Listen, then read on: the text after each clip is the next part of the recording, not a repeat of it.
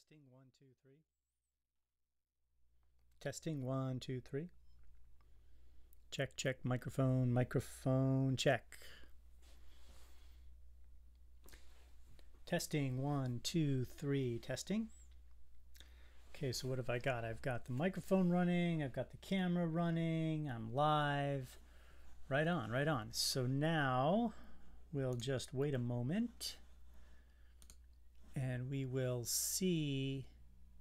I'll call up the actual YouTube channel to see what the stream looks like live, and we can actually begin uh, with this unboxing. Okay, probably do not want to have the uh, sound running at the same time. Uh, 12 watching already. Right on. So everybody that's joining us, thank you very much for coming to the stream. What I'm going to try to do is um, the last one of the earlier streams we had uh, somebody recommended I buy this book, The Physics of from Physics from Symmetry by Jakob Schwichtenberg, and it just arrived today. Um, oh, Leo, you you know about this? Were you uh, were you here, Leo, when uh, somebody recommended this book? I've never looked at it. So I'm going to kind of do this unboxing, right? You know how on YouTube people like to do unboxings? Well, I thought I would do an unbooking, right? We're going to open this book and we are going to uh, kind of start thumbing through it. I'm pretty excited. It's a beautiful book, first of all. I should say, you know, here is the actual book itself. It's a Springer book. It's actually really big. You know, you can't really tell how big the books are from their Amazon profile, but I'm having trouble with getting this camera close enough. So, well, the camera, if, if it's far enough away to see the whole page, you can't, uh, it doesn't focus very well. Even here, it's still not focusing that well. It's got to be pretty darn close to get it focusing. This may not be the best way to thumb through a book live on YouTube. I'm just, I'm really winging it here. But I was so excited about the book that I wanted to uh, give it a try. So um, why don't we uh, why don't we do a little unbooking here? The physics from symmetry, right? So the first thing it's it's from a series called the undergraduate undergraduate lecture notes in physics, right? And this is actually quite a large series. And when I hunted down for this book, I realized they had this whole series, and some of them look really fun. Some of them look really good. So uh, this one, however, is uh, the one that was recommended. So the paper is beautiful. The paper is very, very, uh, um, very smooth. It's a really, uh, for the money, this is actually a really good book. Usually Sch Schwinger is really expensive, but, um, but, uh, but this wasn't crazy expensive actually. I think, I think the full price was like in the 30s, right? $30. So I didn't have to spend a lot of money. But as you can see, the, the problem is, is to get this in focus, right? This is just an inch farther and the camera won't focus. So let me let me find something to boost this up. Uh, it's, it's ironic I'm stacking books on top of other books to get this close enough to the camera. So let me do that. Uh, let's see, here we go. I'm not going to actually review the book, Helix. I don't think that a book review is what I'm all about because a book review has to have some sort of intent behind it, like you know, if you're going to use this book to teach undergraduates, you know, and, and I'm not putting that kind of thought to it. The kind of thought is, is do I like it? I, I guess there is some review, right? There's, there's no way to get past that fact. But let's, uh, let's just kind of see what this preface starts saying. I like the preface because it always talks about um, the writer. One thing I really like is look at the way this book's laid out. See these marginal notes? I, I think marginal notes in textbooks is terrific. The problem is, is I'm surprised to see them because if you look at all of the wasted space on the page, the amount of material on the page, the proportion is really, it's, it may be 25% of the page is actual text. And I'm really surprised they got away with this. I'm surprised the publisher was so darn inefficient.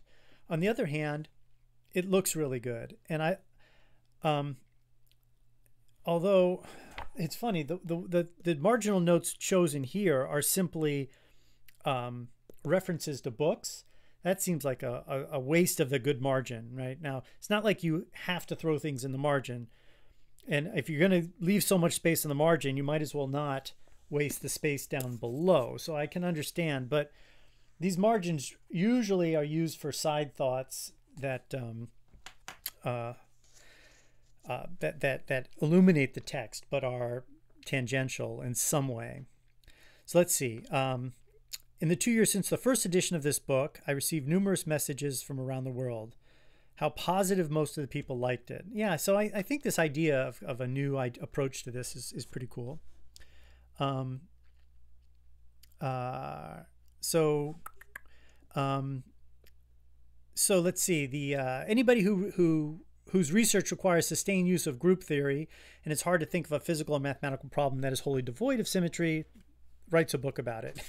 it is true. Even I did that, right? Even I wrote a book essentially that had group theory topics just and focused on it a lot. So apparently he's just all very excited about this. He's thanking everybody. The preface to the first edition, every time you have a quote by Einstein, you always read it. I always worry about some of these quotes are apocryphal, but this one, the most incomprehensible thing about the world is that it's comprehensible. This is just another way of saying the unreasonable effectiveness of mathematics, right? Um, oh, interesting. He, here, see, already the marginal quotes are being used. Here he's validating the quote, uh, although he's just referencing another person who's not Einstein, so we still don't really know. But um, yeah, look at how absurd this is, right?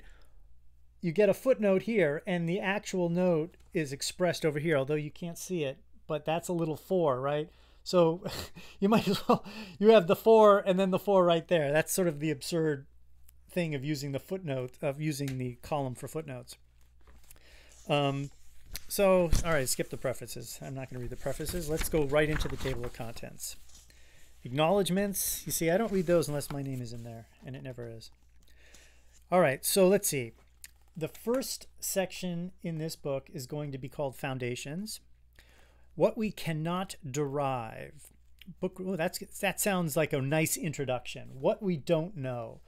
Um, uh, my book, uh, um, for those of you who have it, the one that's about particle theory and gauge theory, um, is uh, uh, it, it really does talk about all the things we don't really understand very well and the uh, sort of the ad hoc nature of the standard model. So I like that theory. Elementary particles and fundamental forces. Okay, so this is an undergraduate book about symmetry, but right away in the beginning, he jumps into elementary particles and fundamental forces. So we're not going to see a lot of symmetry theory applied to moving blocks and simple harmonic oscillator on a spring. This is definitely not an introductory level physics book. Its first section is special relativity. And obviously right there, the symmetry that they're interested in will be these Lorentz transformations. And uh, ultimately, it ends with the notion of covariance, which should, which is, and once, and this is sort of the foundation of the work for general relativity, which I imagine will be in here. So then this, that's the first part. The first part is 21 pages and it gets through special relativity. So it'll be interesting to see um, what his choices are of topics in, in special relativity. Then we get to part two, symmetry tools. All right, so what's going on there? Well, obviously we're going to have to review groups. So this is valuable to us because we are doing a lesson in Lie group theories, uh, uh, Lie group theory, or, or the theory of Lie groups and Lie uh, algebras. So it's fun to see how an elementary review of this is constructed by this particular author. Um, uh, obviously, you've got to start with the idea of groups, so he's going to introduce that. This, see, this is typically the kind of problem I always experience in physics books. You have a little section called groups, and if you notice, it's going to be three pages long. So it's really interesting to me to see what he, if if he's imagining an undergraduate's rolling into this course and they're going to study Lie groups and he's not quite sure whether or not they know anything about groups themselves, right? So he's going to have to nail down the concepts of groups in a pretty solid way in three pages. And I don't even need to look at that section to tell you it's inadequate, right? On the other hand, his whole program is somewhat ambitious, right? He's trying to take an undergraduate and jump them into Lie group theory. Probably, I'm counting on this being a senior level undergraduate piece of work, right? Um, but uh, whatever, right? I mean, I, am sure I, I'm. I don't mean to be critical, right? I'm just saying this is sort of the problem that led me to do my lectures. Is like, okay, let's just run topology to ground, and in the Lie groups lectures, I kind of assumed everybody knew everything about Lie groups, but now I'm actually backtracking a little bit, and I'm going to prepare a series of lectures reviewing fundamental finite group theories, some elements that are important for Lie groups, and so it'll be interesting to see that rotations in two dimensions, rotations with complex numbers, quaternions. This is actually surprisingly practical, rotations with quaternions. A lot of computer programs are using quaternions. If ever if anybody here programs games at all, there's a most of the game computer game development engines like uh, Unreal Engine and like um, uh, uh, uh Unity, they use quaternions to describe rotations. Um, and most programmers don't really get to the bottom of it, but they learn how to sort of do it by rote. So that's cool. And then they talk about Lie algebras. Well, you know, that'll be interesting. And representation theory, which is the topic we're going to cover next in our Lie group sequence. And then after he kind of nails down these ideas, he leans into the SU2, which is a great place to start. SU2 is a critical group that understanding that group will lead to only good things. Let's see if I can make this paper work uh, like this. Then representation of SU2 in one dimension, two, and three dimensions. Um, yes, so the idea that every Lie group has multiple representations, an infinite number, in fact. Then the Lorentz group is the next group he talks. Now, th those, of course, are these. These are truly the most two most important groups to physics. The Lorentz group is what really drives all of particle physics. So what's really important here is you can kind of see where this is going. You know, he's going to talk about these key representations, the zero zeros, one half zero, zero one half, and then boom, page 75, he's right into van der Waerden notation, right? That's uh, section 3.77. Really good idea uh, you've got to know. So the van der Waerden notation is all about distinguishing between the one zero and the zero one one half zero and zero one half representation of Lorentz group. That's the whole point of it. And so uh, that's totally cool that uh, he feels the need to get into that. If he's going to get into the van der Waerden notation, it'll be interesting to see how he plans to use it. But um, uh, anyway, going on, spinors and parity, spinors and charge conjugation, infinite dimensional representations, and then elementary particles. And that, of course, is probably what he's trying to get to. He's probably trying to get to the link between elementary particles and representations of the Lorentz group because that ties in with Einstein's statement. Isn't it kind of weird how math kind of explains the universe? And the theory, of course, is that each particle is actually attached to something as abstract as a group representation. All right, so that is his introduction basically to Lie groups and Lie group theory. So, so using that, he now feels comfortable to do a section of work on the framework. Um, let's see, the, the framework he calls it. Lagrangian formalism, Fermat, Fermat's principle, variational calculus. Can't do field, field theory without it, right? This is all setting you up for field theory. Particle theories versus field theories, Noether's theorem, right? So that is the framework. Basically, the Lagrangian formalism to create Lagrangians. Um, that's how you're going to uh, then assert things like gauge invariance and create new Lagrangians that are gauge invariant, and that's going to create the standard model. If you want to know about that, uh, I wrote a really, really nice. I'm, I'm very proud of the small book I wrote on that subject uh, that you can get on the Patreon page. Then we land in part three, the equations of nature. And now all of a sudden he's talking about quantum mechanics, the operators of quantum mechanics, which can be interpreted as symmetries, right? Uh, operators of quantum field theory, free theory. So the free theory is basically a, a you know, it's a it's the, the place you start because the free theory is basically each of these particle fields that do not interact with each other. So it's just the fundamental particles themselves. Uh, they have a section on the Proca equation. It's not typical. I mean, it seems that seems like pretty advanced stuff. I'm interested to get in here and see how uh, how he approaches that. Um, let's see. Then interaction theory. So you know, it looks to me like if if he's serious about interaction theory, um, uh, well, you know, he may best just be talking about Lagrangians and the interactions of Lagrangians and how to interpret the terms in the Lagrangian. It does not seem to me, because it goes from 131 to 174, it doesn't seem to me like there's going to be calculations of Feynman diagrams, which would truly be an introduction to quantum field theory, right? But that's because this is still the theoretical part. This part three is called the equation of nature. Part two was called symmetry tools. So foundations, symmetry tools, the equations of nature. So you're using the tools to apply the equations of nature. And now it's applications. Where's my section on applications? So presumably now is where you would actually start solving some problems, right? So you're going to apply all this to quantum mechanics. Uh, looks like it looks like it's kind of geared towards QED to me, right? Looks like that's where it's geared to. Let me change the page here. Then we've got the Schrodinger equation. Let's see, I'm, I'm working, I'm wrestling with the book, obviously, to get this. The Schrodinger equation, uh, wave equations to particle motion, Dirac notation. You know, it's interesting. One thing, I, I have a great book called Relativistic Wave Equations.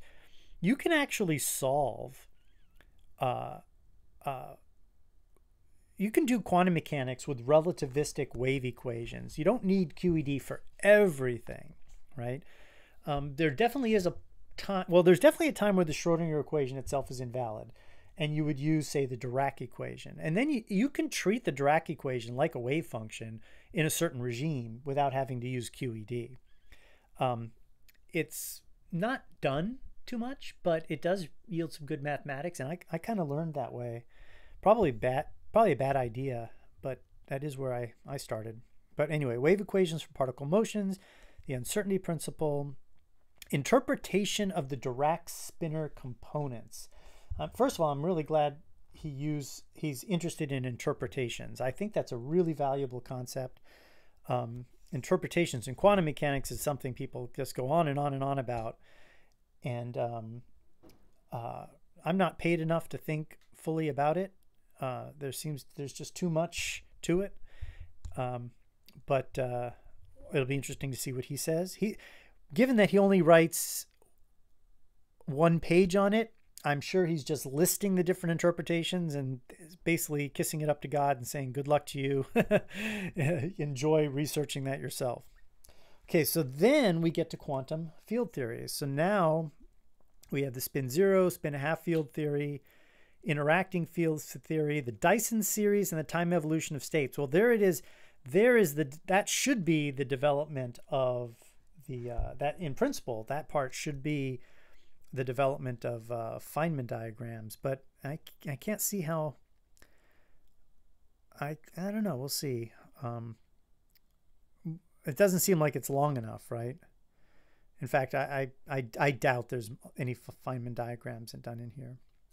And then uh, it's interesting. His application is in quantum field theory for chapter nine, and then chapter ten he goes back to classical mechanics, relativistic mechanics, uh, the Lagrangian of non-relativistic mechanics, and then just straight up um, electrodynamics. Then there's a chapter on gravity, which seems to last about six pages. Um, and then there's some mathematical stuff in the back. All right.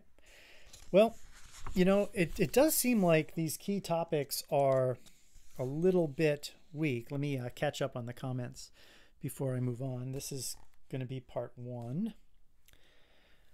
Uh, uh, let's see. Uh,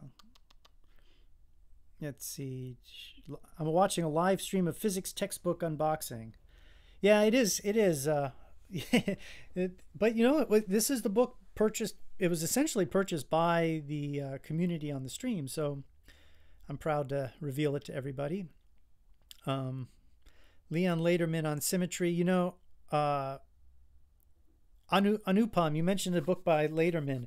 Is it a textbook? I know he wrote a bunch of popular books, which I do not enjoy, although I do remember one metaphor that he presented for how science and particle physics works that was really, really uh, enlightening, and I do use it a lot. But we don't, we don't, uh, we don't uh, waste our time with trivializations of uh, of science here.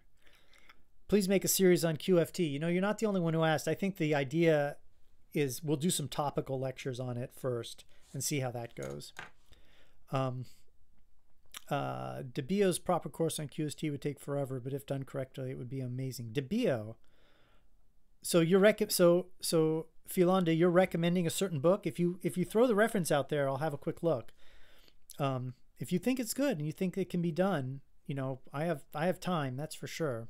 I mean, meaning I don't I will go through it correctly if it's that good. But I have a lot of QFT books, but I do agree none of them. When I was a student, they certainly did not help. They confused me more. I mean, you know, slowly I would check hack away at the subject, but if um, if we could find if you, if you as time goes on, the ability to teach this stuff does get better, right? That's what this book very well might be an example of that. So if if you think DeBio's Q, QFT book is great, then let me know. Send send me the link, or put the link in the chat, and I will, um, you know, link it to the Amazon page or something, and I'll, and I'll dig it up. Uh, uh, Let's see what else he says. I really like the way he portrays every lesson. Yeah, that that's true. We we we it's although I am tempted to try um uh Oh, wait a minute, wait a minute. I'm sorry. Philonda, you're at DeBio's you're not referencing a textbook. You're you're asking uh, about a course straight up. Sorry, sorry. I'm I'm getting used to the notation here. You're referring to DeBio, right? Um yeah, so I guess I should be addressing DeBio, right? The idea I think will be to uh, do some topical stuff. Like, well, I, I really would love to do a full Feynman diagram calculation. Just assume the Feynman rules and go through uh, a second order calculation with renormalization. I think that would be a really good couple lessons. And um, and then uh, maybe build up the Feynman architecture from the ground up. I think if people were really comfortable with the Feynman architecture from the ground up and did one calculation, that'd be good enough. You know, but the irony is I'm, I'm talking about that as though what I just said is not a complete course in QFT. That virtually is a complete semester or quarter at least of, of QFT. Um, uh, uh, to be honest, live.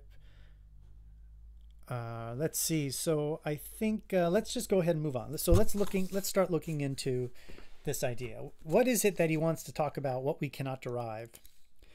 So he's, he begins by saying, and I'll read out loud, before we talk about what we can derive from symmetry, let's clarify what we need to put into theories by hand. Ah, really nice. Standard model, there's like 27 numbers. And in the book, I've referenced, I've, I've been pitching my book for some reason, but it's available on Patreon. It's not very expensive, but in the book I wrote, Qualified to Complain, the whole point of that book was to illuminate each of the 27 by hand constants. First of all, there's presently no theory is able to derive the constants of nature. These constants need to be extracted from experiments. Examples are the coupling constants of the various interactions and the masses of the elementary particles. Yep, I love that subject. Besides that, there is something else we cannot explain the number three.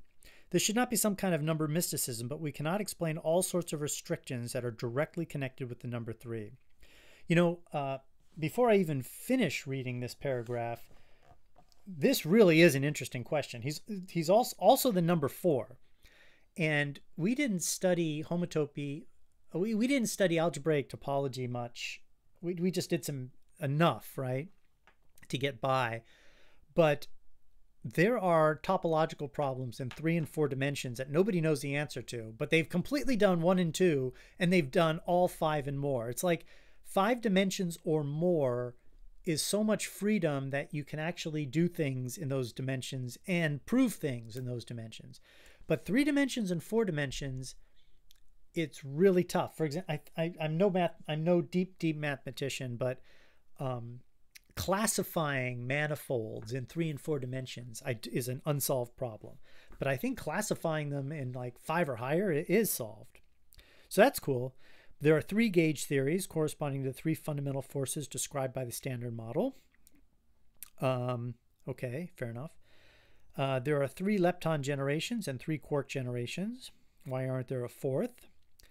We only include the three lowest order in phi in the Lagrangian, where phi denotes here something generic that describes our physical system, and the Lagrangian is the object we use to derive our theory from in order to get sensible theories describing things. Yeah, true, true, true. We only use three lowest dimensional representations of the double covering of the Poincare group, which corresponds to spin 0, 1 half, and 1. Let's move over here. There is no fundamental particle with spin 3 halves. Okay. So in present theory, these things are assumptions we have to put in behind, by hand. We know they are correct from experiments, but there's no deeper principle about why we have to stop after three. In addition, there is one thing that can't be derived from symmetry, but must be taken into account in order to get a sensible theory. We are only allowed to include the lowest possible non-trivial order in the differential operator uh, partial mu in the Lagrangian. For some theories, there are first order derivatives. For other theories, Lorentz invariants forbid first order derivatives, and therefore second order derivatives are the lowest possible non trivial order. Otherwise, we don't get a sensible theory. Theories with higher order derivatives are unbounded from below, which means the energy in such theories can be arbitrarily negative. Therefore, states in such theories can always transition to lower energy states and are never stable. Finally, there is another thing we cannot derive the way we derive the other theories in this book gravity. Of course, there is a beautiful and correct theory of gravity called general relativity. Hey, just as a general note, notice how he says there's a beautiful and correct theory of gravity, comma, called general relativity. It is a grammatical pet peeve of mine when you use the word called, right? Like he's used right here, called. What this means is the next words he's using is the name of something. And because the next words are the name of something, they should actually be in quotation because you're not referring to general relativity itself, you're referring to the name of the theory. So you're using the words general relativity as words themselves. And I think that should be separated into uh, quotation marks. That's arguable, though. I, it's hard to find the grammatical rule about that. But anyway, um, but this theory worked quite differently than other theories, and a complete derivation lies beyond the scope of this book. Quantum gravity, as an attempt to fit gravity into the same scheme as other theories, is still a theory under construction. Okay, so he's really interested in this idea of the number three, and it is intriguing. I, I do remember thinking, you know, why are there three plus one dimensions, right? You know, that's certainly a question people have asked, and I remember, you know, being told that that's a big kind of mystery, but the presumption was that it really does have something to do with this uh, uh, algebraic topology, you know, proof that three and four dimensions is just really, really a, a different kind of space than one, two, and five and higher. So, so that is pretty, pretty good idea. Pretty, pretty cool thought. Um, I don't know. Um, that's the introduction about what we can't derive. Um, there was a time when I was a kid, I do remember there was a book written by a crackpot named uh, Fritz Capra. And that was around the time where the eightfold way was a big deal. And the number eight was the big mystery back then, right? So he's this our guy's making the number three the big deal, but back in the day, the number eight was the big deal. And of course, it really you know, the eightfold way was just a, a complete crock because the number eight was was arbitrary and accidental. You know, and now the idea we have uh, all the quarks, right? We have the six quarks and then the six anti quarks, and the number eight doesn't even matter anymore. I think the number eight was if you take the three lightest quarks, you can make eight different particles out of them, right? So that became the eightfold way. But of course, turns out there's number eight suddenly becomes very uninteresting. Okay, anyway, the book overview. The book uses natural units. I want to compliment everybody for natural units. That he just launches into that natural units. Um, and our starting point will be the basic assumption of special relativity. All right, so that's where that's the prerequisite he's laying down for us. Special relativity, cool. Uh, velocity of light is the same value seen in all inertial frames. Blah blah blah. The, the set of all transformations permitted in this symmetry is, is called the Poincare group. We discussed the mathematical theory that enables us to work in the symmetries. This is called group theory, irreducible representations of the Poincare group. Um, let's see. Okay, so here, here again, we have this.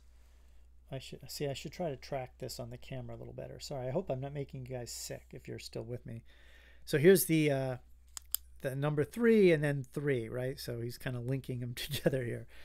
We'll drive the representation of the double cover of the Poincare group. The term double cover comes from the observation that the map between the double cover of a group and the group itself maps two elements of the double cover to one element of the group. All right. Nice to be technically correct, for sure. Um, these representations are what we later use to describe particles and fields of different spin. On the one hand, spin is an abstract label for different kinds of particles, fields, and on the other hand, can be seen as something like an internal angular momentum. We will discuss in detail how this comes about. Well, that's fun. That's that, I mean that's really cool, right? Um, the Lagrangian formalism is introduced, which makes working with symmetries in physical context very convenient. Very convenient, right? The central object is the Lagrangian. Different Lagrangians describe different physical systems. The Euler-Lagrange equations are derived. So that's very standard stuff, right? I mean, that you can get that in, in classical mechanics books, right? But I guess that's where we're angling here. The central idea here is that the Lagrangian must be invariant under any transformation of the Poincare group. This makes sure that the equations of motion take the same form in all frames of reference. Sure, and that's also where gauge theory comes from too, because what you do is you start saying, well, not only does the Lagrangian have to be invariant under the Poincare group, which is kind of, well, I shouldn't say easy, but if the space-time indices are all handled like we've learned in what is a tensor, right? If they're, if basically everything is, is well, all the tensor indices, the space-time indices must uh, cancel because Lagrangian should be just a single number, a real number. So, but if the indices are there and they're being summed away, then you know you have an invariant under the Poincare group. Then on top of that, you start adding other symmetries that have their own indices, and those are the gauge symmetries. And so uh, I presume he's going to talk about some of them, although I got to say, I looked in the table of contents. I don't remember the word gauge showing up, right? But he does say internal symmetry, right? So that's close. That's a, I mean, that's what a gauge symmetry is, right? Um, invariance under U1 transformations. Yeah, but that's so that's going to be a spin symmetry. We usually don't consider spin. I mean, spin is an internal symmetry, but we like to think of it more as angular momentum. Anyway, uh, we discussed symmetry breaking, and the special way to break symmetry is called the Higgs mechanism. All right. Well, he's going to have to cover all of that if he's going to do the Higgs mechanism. So that's good. Uh, Noether's theorem is derived. This leads us to the most important equation of quantum mechanics, which is he has as the um, uh, you know the uh, the equation relating complement complementary observables, right? Momentum and uh, position in this case. Um, and quantum field theory, where those uh, fields get sort of quote unquote promoted to operators. And then blah, blah goes on. We take a look at free quantum field theory. Let's see, and Ehrenfest's theorem, uh, basic structure of modern theories of gravity called general relativity is briefly introduced. Yeah, you're not going to spend a lot of time making progress on GR in this book, I, I don't think. Not with just a few pages at the end. Uh, the major part of this book is about the tools we need to work with symmetries mathematically and about the derivation of what is known as the standard model. Oh, well, that's good. So he's written a book just like mine then, or maybe the other way around. um, uh, every every other theory introduced here can be seen to follow from the standard model as a special case. All right, all right.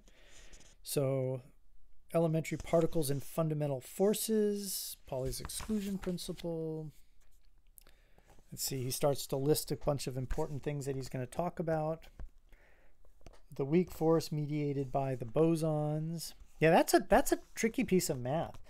Um, separating up the standard model so that you get W plus, W minus, and Z.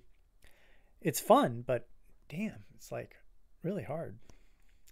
Um, some are massless, some are not. Spontaneous symmetry breaking, all very, very interesting. And it, it's kind of it's kind of a weird blend of like, can we get an undergraduate deep into particle physics? I mean, I see the problem, right? You can easily graduate as an undergraduate physicist, and you could be really good at a lot of physics, and you could be really good at a lot of physics calculations. But it is totally possible that you could be credible and still have never studied general relativity and have no idea about fundamental particles, which is really or cosmology. And those are like like the the, the most interesting pieces of physics. It's like that stuff doesn't mean anything until you go to grad school. And I think this book's trying to say, you know, we got to get our undergraduates a little deeper into this subject. Um, and get the benefit of these advanced these these more more relevant topics. Um, because you know basically all the classical mechanics you might do as a physicist you probably would turn that over to engineers at this point right? You know? I don't think i don't i don't i wonder how many physicists were needed to arrange nasa's flyby of uh, of pluto. Well you know I, I don't. I, sh- I should be careful because I have no idea, and I bet it's. I bet it's definitely many. anyway, so then you list the quarks there. That's cool. Different particles can be identified. Oh, look how blurry this is. Why? Hold on. Sorry, guys. It didn't it just get. It wasn't this blurry a split second ago, right? How did it get so blurry? You guys, you're probably getting nauseous. Oh, there. The camera's just has a little struggling to focus.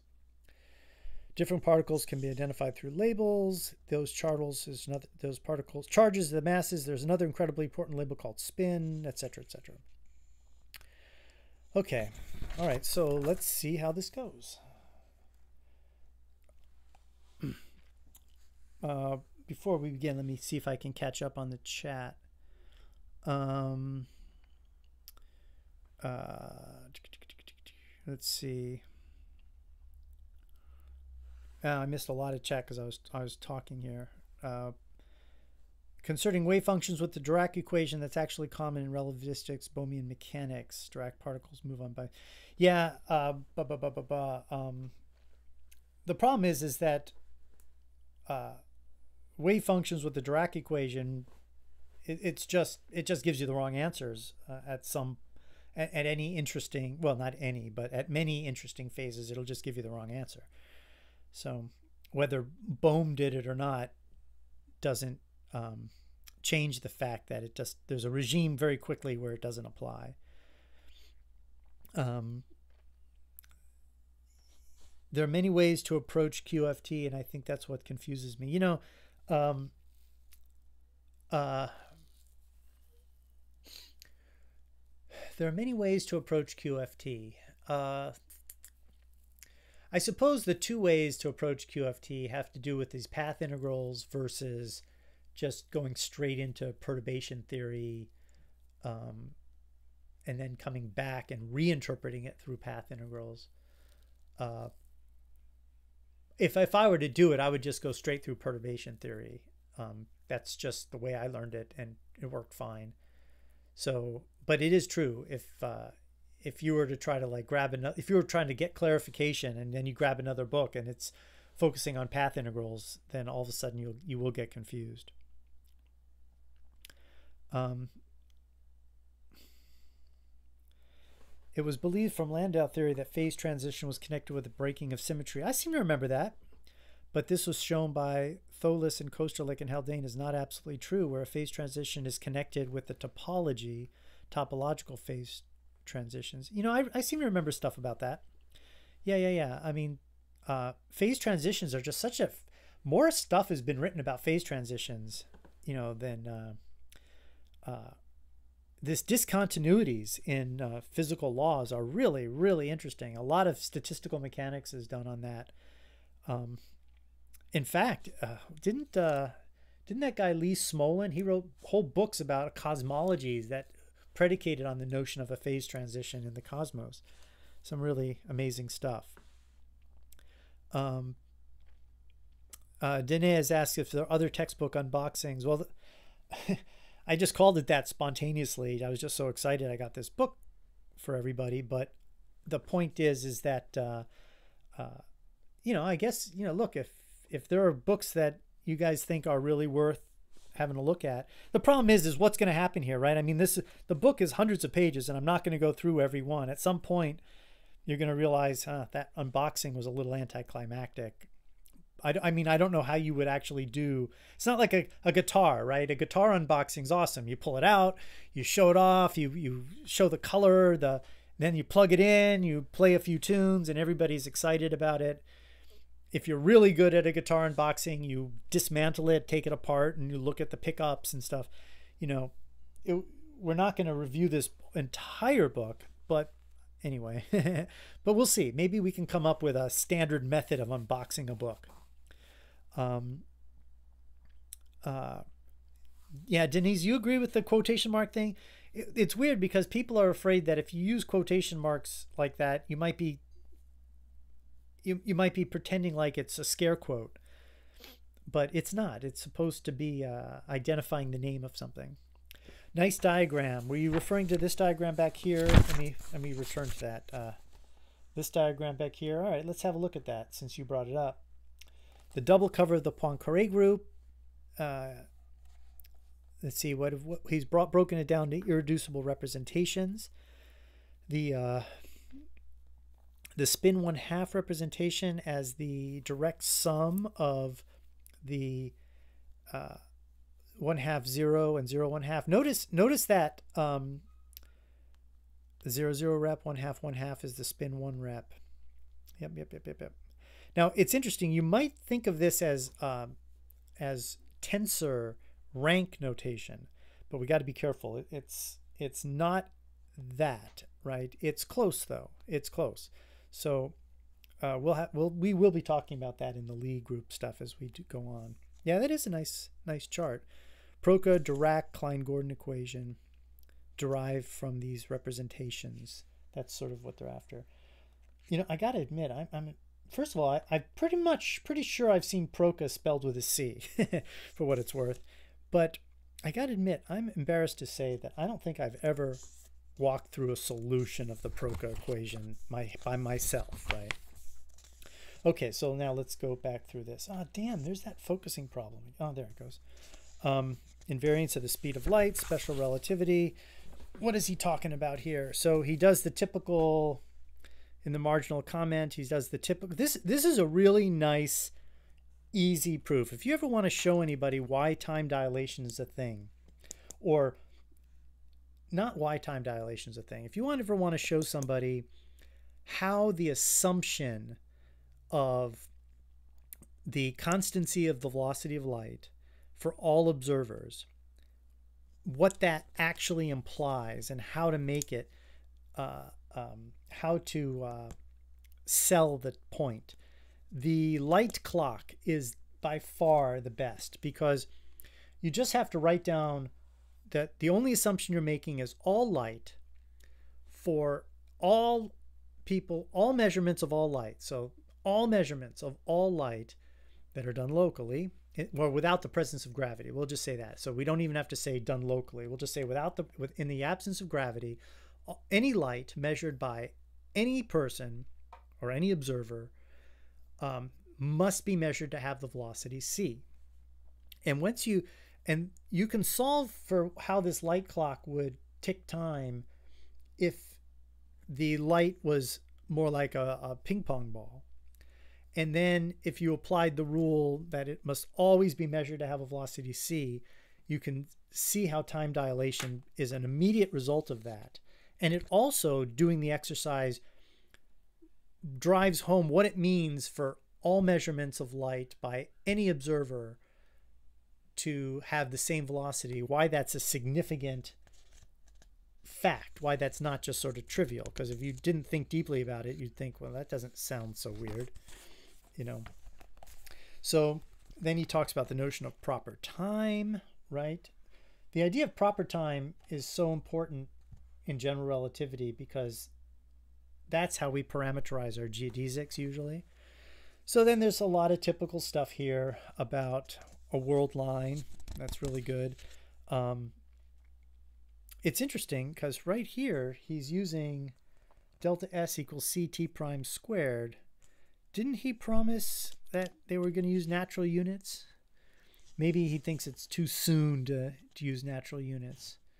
But um, if you're not going to use natural units, this is the place to do it because you really can't do a lesson on special relativity and talk about the constancy of the speed of light without having that constant there. If you if you got rid of it and if you just wrote delta s equals delta s prime equals delta delta s squared equals delta t prime squared, not having the c there kind of you're burying the lead a little bit. So I guess this is a good place to not use natural units. Um, Minkowski notation, right? Um, the big point here is to is there's no i in um, in uh, this expression. But you know what? I haven't seen I in an expression in so long. I don't even think people comment on it anymore. um, and uh, let's see. Introduction to the Minkowski metric, right? Got to do that eventually, right? That's important. The problem is, is there's nothing about this book that would inspire me to use it as a lesson for this channel because it's so it's at this point it's elementary. Given that we've done GR and tensors, there's nothing here that is very telling. The Lorentz transformation. This is uh, this is a nice. Uh, let's just look at the notation they choose to use. They use you know the Greek indices. Uh, they they choose to do the second coordinate system with a prime on the letter, right? I, I'm, i always check this stuff out. I, I find this interesting. So the, the original coordinate system is unprimed variables. The the new coordinate system is prime variables with the same index, right? So the way I do it is I use the same variable, but I prime the index, right? And I'm sure, and ultimately in van der Waerden notation, he's going to have to do that because that's like the way it's done. That's the rule in van der Waerden notation for spinors. But anyway, um, uh, I don't like this because you could confuse the two indices. You have to realize, oh, an index, a mu under a prime variable is different from a mu under an unprimed variable. Um, anyway, um, uh, yeah, whatever. I mean, obviously that's sort of this. Um, this though, this is really important. Getting this notation down is very important in special relativity because we throw Lorentz transformations around, and the way we do it is just with a little matrix, and well, matrix notation in a way, and that lambda is that sort of matrix notation.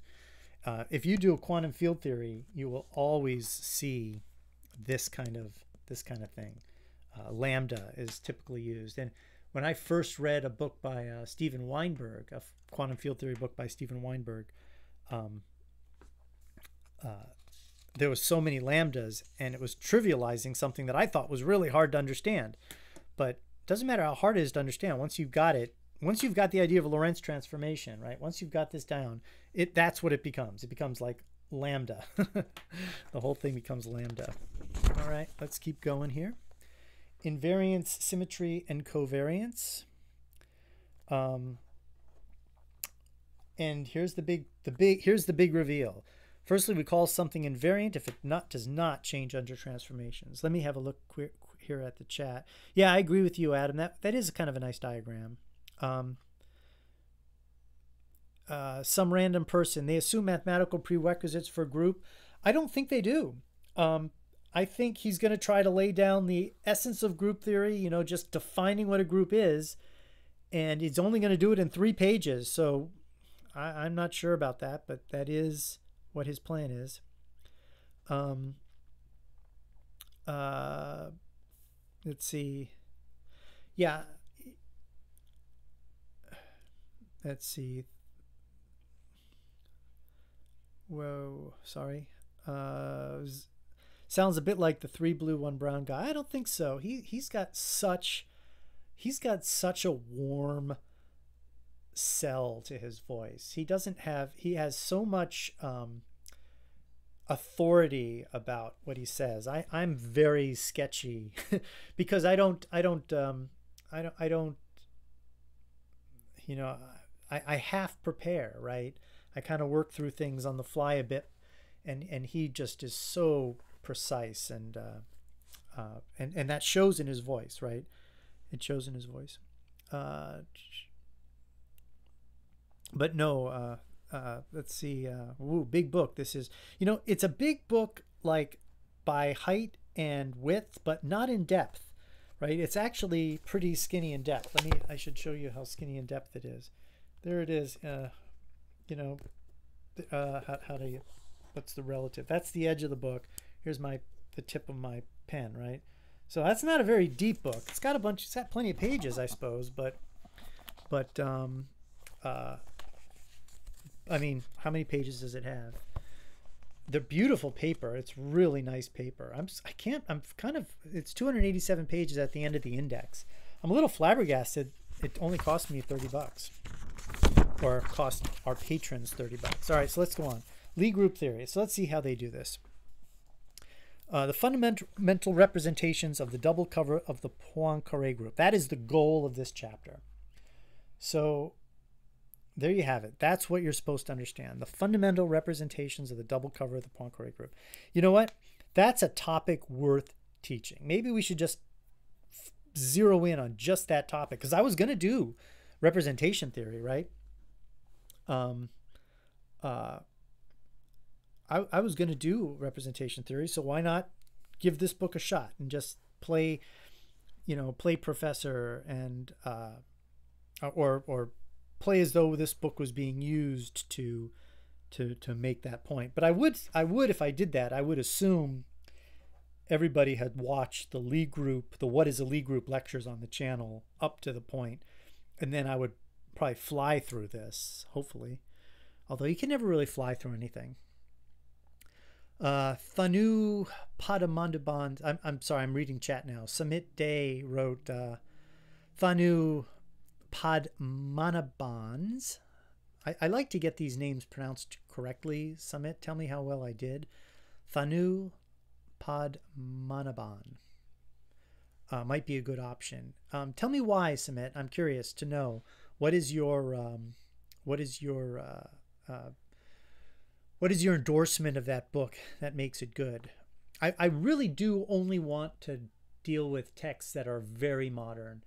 There's there's not too many older, uh, with the big exception being general relativity, but any other physics topic besides general relativity, uh, I'd rather deal with the more modern books, the more modern efforts. I think, I think uh, people, authors today, are really becoming deeply efficient at this.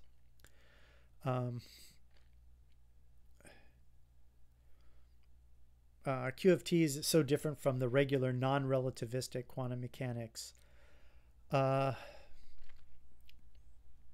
well, um, yeah, you know, it's all about uh, it's all about uh, particle creation, right? It's all about having so much. It's all about when your mass when the mass energy of the problem is larger than the rest is comparable, not even larger, just comparable to the rest mass. Um, that's when all these problems show up, and there's just simply nothing in uh, non-relativistic quantum mechanics that can handle that. Um, uh, what is the difference between mathematics of undergraduate quantum mechanics and QFT? Um, uh, let's see. So, huh. That is a good question. Um, you know, undergraduate quantum mechanics requires mathematics through partial differential equations, Sturm Liouville theory. Uh, the WKB approximation is a, you know, you're really talking about some some tricky uh, uh, differential equations and, and ways to handle differential equations. Quantum field theory, it, there's this there's this I mean, I mean, you definitely need group theory and representations to really get at it, and and that is important. You certainly need op. You need, you know, I was going to say you need operators, but those the operators you use are exactly the ones you learn. You need field theory. Basically, the difference is you need field theory, right? In quantum mechanics, the wave function is actually a field, right? It puts a complex number at every point in space time. So the wave function is a field in a way and it is capable of having a Lagrangian with interactions, just like quantum field theory.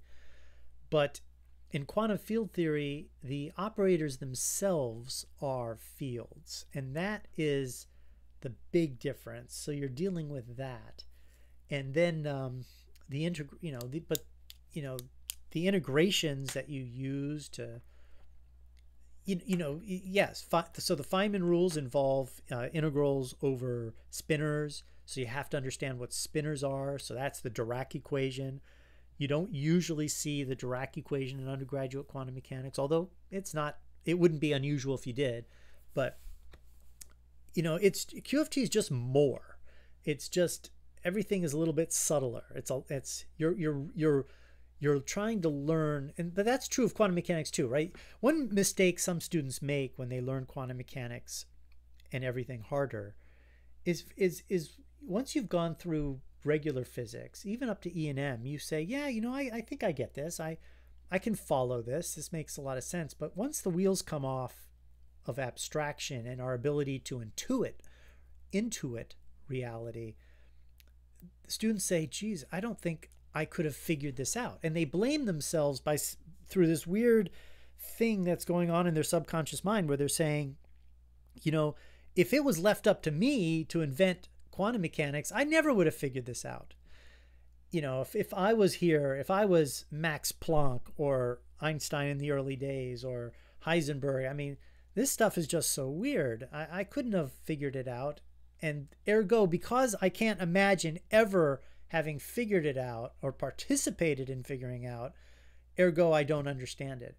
And that's really an unfair way of looking at things. And I don't think that's a straw man uh, argument about what's happening to students. I really do think that that there is something like that going on where we almost feel inadequate because we don't immediately get it. And the thing that people don't remember is nobody immediately got it, right? These people that we we deify as the people who created this stuff did so over like a 50 year period and did it very piecemeal and very ad hoc and and there was no systematic development. There was there was a, a, a, genius guy who came up with one genius idea that took a while for everybody to understand and then everybody got on board and then everybody understood that idea right? If you understand special relativity wasn't wasn't there a famous guy who said special relativity is so bizarre there's only like five people in the world who understand it. And now i literally can teach it to anybody right? I mean and not me. I mean, anybody can. It's it's that easy. It's like the starting point theory, right? So, so um, I, I know that's a little bit of a, a rant on, on on on learning this stuff. Um, uh, there is a course on YouTube being surpri- uh, promoted here. Let's see. Uh, let's see, the most gangster QFT source was one from Sidney Coleman. He would start smoking in the middle of the lecture. okay, yeah. Won't see that here, that's for sure. Um, let's see. So you guys are talking about different QFT. Boy, it seems like everybody really wants QFT. I, I just wish, um, I just wish that, uh, um, uh, I, I just wish that um, uh, you know when you think QFT, you really should think QED, right? You got to get quantum electrodynamics down first, right? Quantum field theory, without understanding, I mean, without understanding quantum electrodynamics, I just wouldn't waste time on that. Okay. Uh, the uh, name and author of this book is uh, uh, the book is Physics from Symmetry, and the author's name is Jakob Schwichtenberg. Okay, but let's go on to this. Sorry, sorry, I got distracted by the chat. Um, we will start with the definition of a group. Okay, see that's great, right? I mean, this seems absurd to me, right? He his his goal is this noble, really good goal, and he's going to begin with the definition of a group. Okay, um, that's an awful long way to go. but let's see, we'll try to find similar second description of rotations in three dimensions. Let's see. So they, he here it is. Here's his beginning thing on groups. And you can kind of see he's doing the usual thing about rotating a, a geometric object. You know, there it is. So, you know, uh, uh, then, you know, he's talking about the transformations of a geograph geometric object you know and then ultimately it takes them three pages to get to this right? The definition of group closure identity inverse associativity a set with an operation. So fair enough but uh, so then rotations in two dimensions describing those groups uh, rotations with unit complex numbers. So now this is the this is the groundwork he's going to have to lay to do um, SU2, right? So so that's fine. Um, the page prior, he he introduced uh, the idea of a transpose, the idea of the determinant for of a matrix. But uh, God, it's just such a beautifully. It really is a lovely book. Um, you know, I mean, this is pretty elementary stuff, right? Look, the unit complex numbers lie in the unit circle of the complex plane. I mean, he's really not pushing the boundaries of prerequisites here. Let's see, rotations in three dimensions. So finally he gets to that. Now, the big thing he's going to have to do here, of course, is the non-commutivity. And somewhere in here is where I guess Lie algebras is going to start popping out. Well, he hasn't even done Lie groups yet, right? But the three by three rotation matrices, and then talking about the rotation of a single vector, right? And then quaternions. So let's see what he does here. Um, with the quaternions, defines just a simple definition, talks about the idea of, um, of I guess I guess the is that the word the dagger symbol transposition plus complex conjugation and then then he does uh, this is this is actually a really good subject that does often get missed in quaternions is showing that quaternions can be expressed in a basis of two by two matrices right? Now notice this would be a basis for quaternions so um, well whatever i mean that's what they are right then defining the determinant. And then, so he's just basically describing how quaternions are represented and how they work. Let's see what this page has on it. Um, then he does rotation matrices with quaternions. Um, let's see. So I guess the way he plans to do it is, I guess I'll look over here for you, is this expression right here, 3.37. uh, he's essentially writing that in a quaternionic form using the, those matrices he showed us. And, uh, you know, ijk, whenever you see that, that's going to be a quaternion. So that's just a purely, what's the word? Uh, the is do they still say? Do we say that's the imaginary part of a quaternion? What? How do we refine the uh, just the the the part that's not just a pure real number? I can't remember the word. And then um, and then we get down to uh, oh basically this is where he starts to show the double cover thing right he, he uses this to show that that 2 pops in or the the phi over 2 pops in for the angle so you get this double cover all right fair enough so then then sure enough the Lie algebra has to show up here otherwise none of this makes any sense um, and then at some point he's going to have to show that we have group generators, right? So that's what he's doing here. A little bit of group generator stuff. All right, fair enough. And then we we we did all this in the uh, the Lie group lessons. So this is we would we would skip all this if we even covered this book, this stuff. Um, and then of course so so this is actually a place where you really need to see a good worked example i'm not a big fan of hugely detailed worked examples always but in the Lie group stuff i was i really did enjoy doing this calculation and actually working this out in great detail and developing the actual matrices that were relevant here and then he presents um,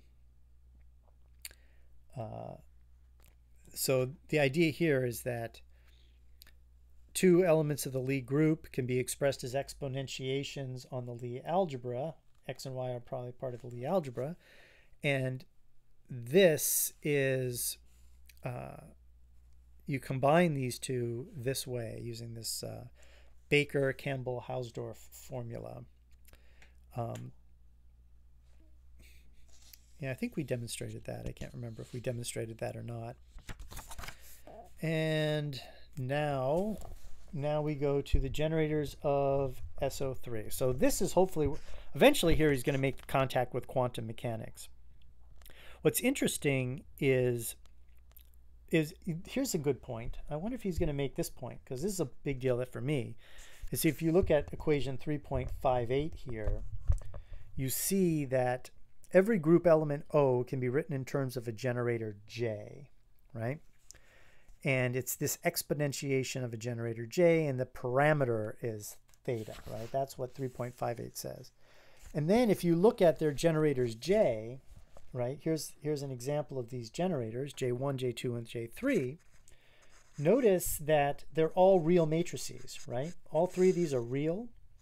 Now in physics you may remember that these operators um, are hermitian right? And it goes back to this. This would normally be e to the i theta j in physics, right? Or j would actually have an imaginary piece to it. And the reason is is that the the math, if you build up the math, you end up with um, you end up with anti anti Hermitian operators or anti Hermitian um, generators. But physicists like Hermitian generators, so there's always going to be an I added in there somewhere. and that difference is quite confusing to make the connection between these two. I'm, I'm anxious to see if he actually does it. Um, and then here he's talking about now making a finite transformation. Again, we did this in our Lie group theory book course already, but this is this is the example that I was talking about uh, about a page ago. This is a good example of, you know, this is a pretty easy one, but uh, uh, showing how you can actually execute this exponentiation to get the actual group element. I think that's an important lesson to do. So that's that's a really nice example there. And um, and then let's see. Ah, I think I see it right here. Right. I think I see it right here. Oh, I'm gonna. I'm excited about this part. um, let's see. We now have the generators of the Lie group in explicit matrix form, right? Let me lift this up. And allows us to calculate the Lie bracket relationship. In physics, it's conventional to define the generators of SO3 with an extra i. Concretely, this means that instead of e to the phi j, we write e to the i phi j with phi equals minus the conjugate. Right, right, exactly. So now you see the three generators, boom, they have the imaginary piece. And the Lie algebra has that I suddenly introduced in the commutation relation, right? Because we like Hermitian generators. Good, good, good, good. Yeah, see, I think that's that shows that he's pretty dedicated to the idea of saying, look, we're going to explain this mathematically, but now we have to face the fact that physicists just have a different convention out there. That's great. I'm glad he said that. You don't see that very often. Uh, I wrote I wrote about that a lot in my work, but of course, I'm not a published author, so good for him. Uh, let's take a bit of a break and go into the chat again. Um, well, you're talking about a book on field theory. What do you expect? I guess, um, uh, yeah, I guess this is a book on field theory. I didn't think of it that way, um, uh, Shikar. I, I don't. I guess your. I'm I don't know if your first name is Amar or Shikar. Um, I have a good friend named Amar, uh, but um, I didn't. When I got this book, it said symmetry, eh, physics from symmetry, but it did not. Uh, it it did not suggest to me that it was literally a book on field theory. And actually, I'm not sure that it literally is. Um, but uh, so so no, I wouldn't call this book on field theory anyway. Uh, let's see. Um, hello from Russia. Is there a chance you would do a classic group theory series? It would be great to see your perspective on this. You know, I got to say, I'm I'm inclined to do it uh, while I do a classic group theory series. Will be part of this representation theory review that I'm going to do. So I think so. Games and thoughts. I, I think so. Stay tuned to the Lie Group playlist, and I think the next lesson is literally going to be a quick a a few. Um, elementary group theory reviews, at least topical, right? Uh, group actions are an important subject. Um, things that show up in, in Lie groups is nilpot, nilpotent groups and uh, solvable groups. So we got to get that down. So I think uh, uh, I will. I've already done a review of the most important concept, which is um, uh, uh, homomorphisms the kernels of homomorphisms and normal invariant subgroups of groups, right? That's really important too. So yeah, so keep an eye out on that. Um, quaternion representations are just Pauli matrices. Are you being sarcastic, Amar? I'm not sure, but uh, yeah, yeah, there's that's uh, that's definitely a pretty common way of doing it. Um, uh, let's see. Zee is better. You know, I, have I've seen Zee's book. Uh, it is it is newer. I should check it out. Um, uh, yeah, yeah, I should check it out. All right, let's keep going. The abstract. So now, this is interesting. So the abstract definition of a Lie algebra. This is where his mathematician inside him is showing. Um, this is also what's missing from Gilmore's book that we're studying is Lie algebras can actually are they're a thing unto themselves. They're not there just to linearize Lie groups. And if you attack them from that perspective, you can build up physics from that angle too, or the relevant physics for that angle. Um,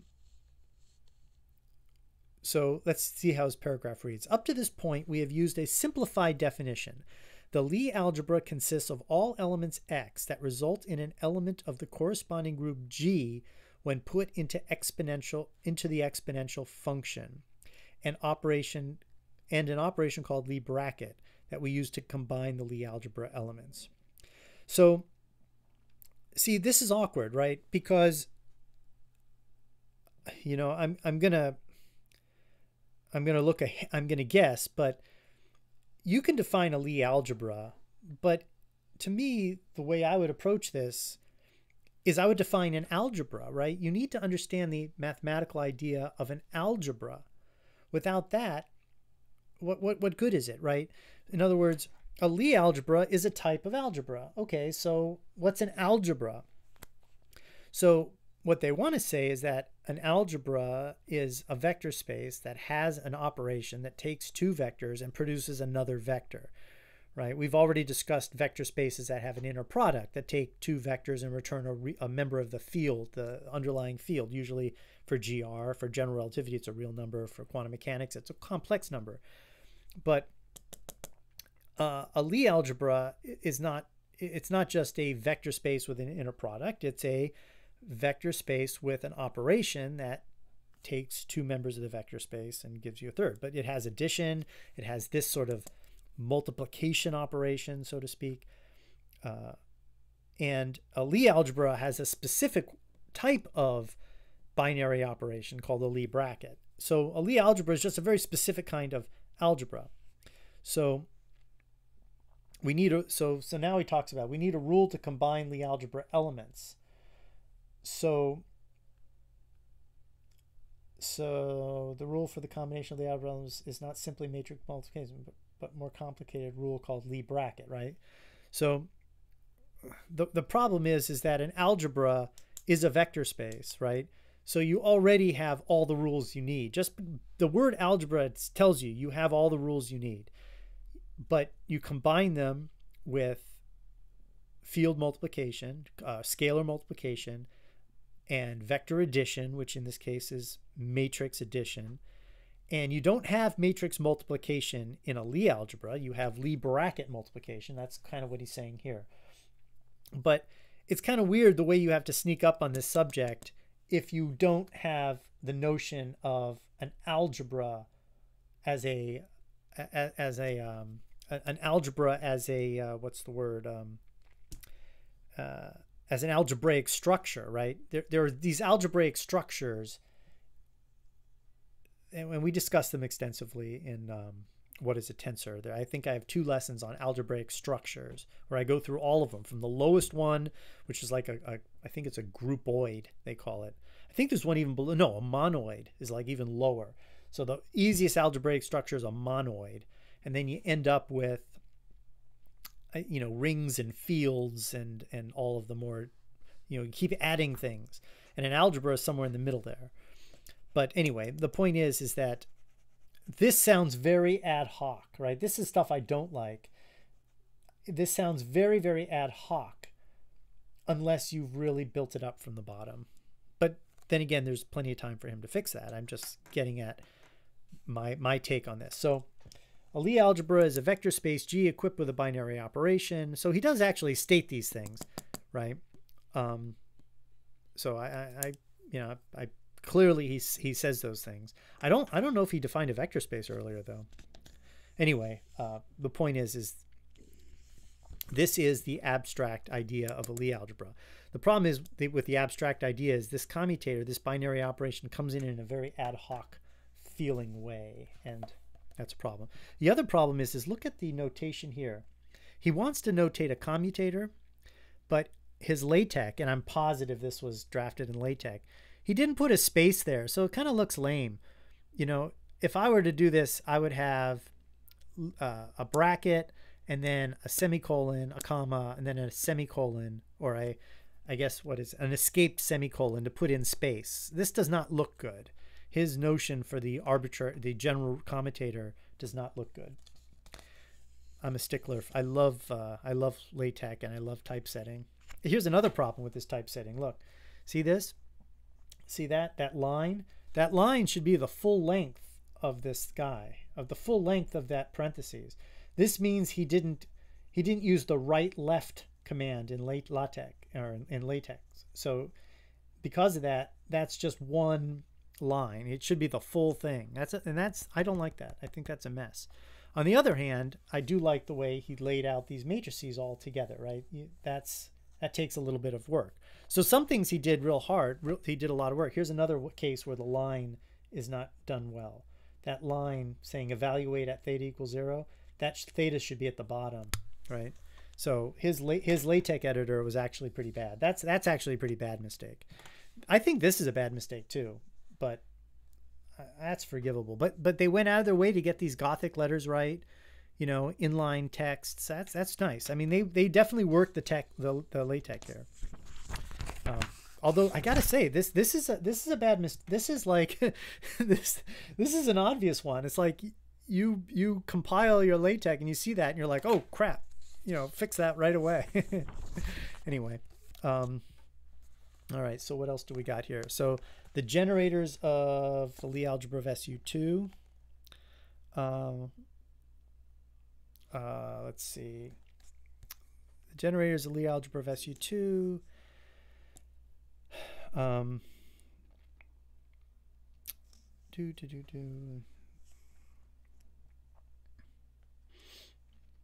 So what's interesting here is when he says abstract, of course, he's no longer using a real matrix, right? He's just using generators and he's he's really looking for these commutation relations. Because once you know the commutation relations on the generators, which is what you end up with here, you know the full Lie algebra, right? The whole Lie algebra if, if you're going to consider JI and J as, as sort of your basis of the algebra, which they're going to, then this will uh, allow you to calculate the Lie bracket of any two elements of the algebra.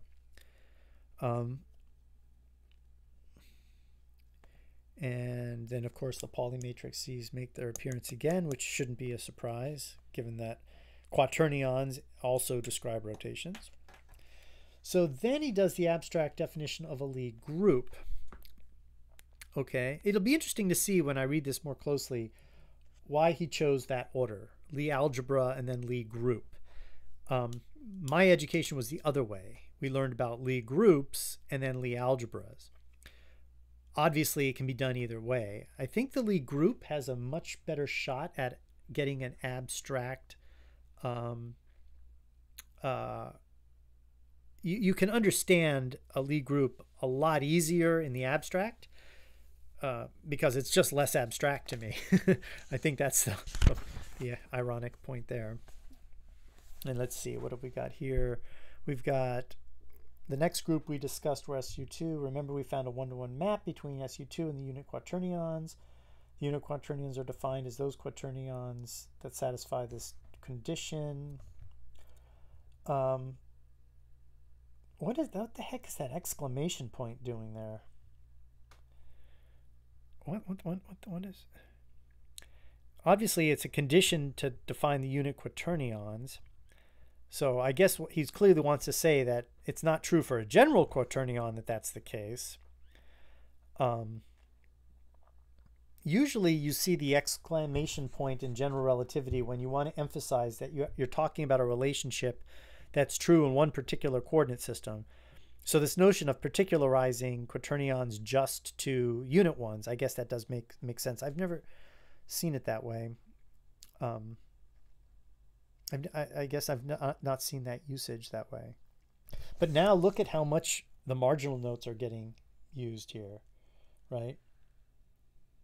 So now he's really, you know, he's he's pulling out all the little things, little things that he doesn't have time to say, and he's putting it oh here's here it is right this is the this is the big sin of all of this kind of study right there footnote number 63 that entire little paragraph is about manifolds right and you you can definitely get away teaching physics with a very very thin definition of manifolds i hate it but i i shouldn't expect much different right i mean like here, look, look right there.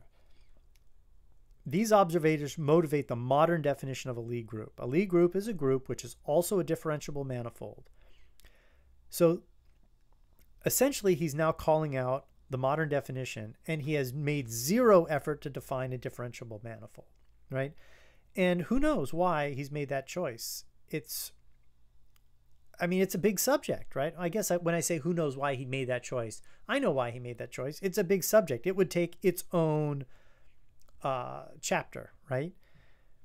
So, you know, so he's he's dancing around it, just like you know D'inverno dances around it. Um, a lot a lot less. I mean, D'Inverno has to attack it a little bit more, but he still doesn't give it the kind of treatment that you actually need to give it. So so yeah, so I feel like this is not going to be that super helpful this chapter for an undergraduate because he's, they're going to be like this is all very arbitrary, right? A Lie group is a group which is also a differentiable manifold. His his definition of a group was literally just nothing more than the definition itself. And he doesn't even define differentiable manifold except for this little paragraph here. And he tries to bind it all together here. So this is a compatibility requirement that ensures that the group property is compatible with the manifold property. That statement, that's the whole point. That's what makes Lie groups what they are. That is deeply profound and really, really fascinating. And we cover it in detail in, in our series. What is a what is a Lie group? Or what is what is our series called? It's no, Lie groups, Lie algebras, and the representations, where I am literally going through a textbook. So I shouldn't say this is the first time I've done this. I've obviously done it before. But this, the mathematics, that, that compatibility is what makes Lie groups what they are. So interesting. Um, and but then he has the guts to say, now that he's laid that out, we can now understand the remark at the end of 30, 34, as though anybody who reads the paragraph above I think they would be hopelessly lost if this was if this was their first time through this material. So right here, I'm feeling like is where this book will start to go off the rails for a, a true undergraduate course. And it's not his fault, right? I mean, he, he just he's just trying to get through the abstract definition of a Lie group without really talking about the abstract definition of a Lie group. He's just stating the abstract definition. But that's the problem. A statement of the abstract definition is by necessary by necessity very abstract. Ergo, it seems ad hoc unless you study and take apart the abstraction. I mean, it, it you know, just because it's abstract doesn't mean it can't be explained and understood in detail. I'm, I'm not saying that you have to suddenly make concrete examples, right? You don't. But you do have to, each of these sentences, all right, like let's, let's count. A Lie group is a group which is also a differentiable manifold, right? So the group concept and the differentiable manifold Without understanding them, that sentence makes no sense. Furthermore, for the group operations must induce a differentiable map of the manifold into itself. Okay, absolutely, completely unclear if you don't understand. The whole notion of a differentiable map, by the way, is completely contingent on understanding a manifold. The exist the, the, the, the, the mathematical structure of a manifold makes the word differentiable map make sense. Those are not two unrelated concepts. The concept of a manifold and the concept of a differentiable map are bound together in a deep understanding of manifolds. So that sentence makes no sense to anybody. This is a compatibility requirement that ensures the group property is compatible with the manifold property, right?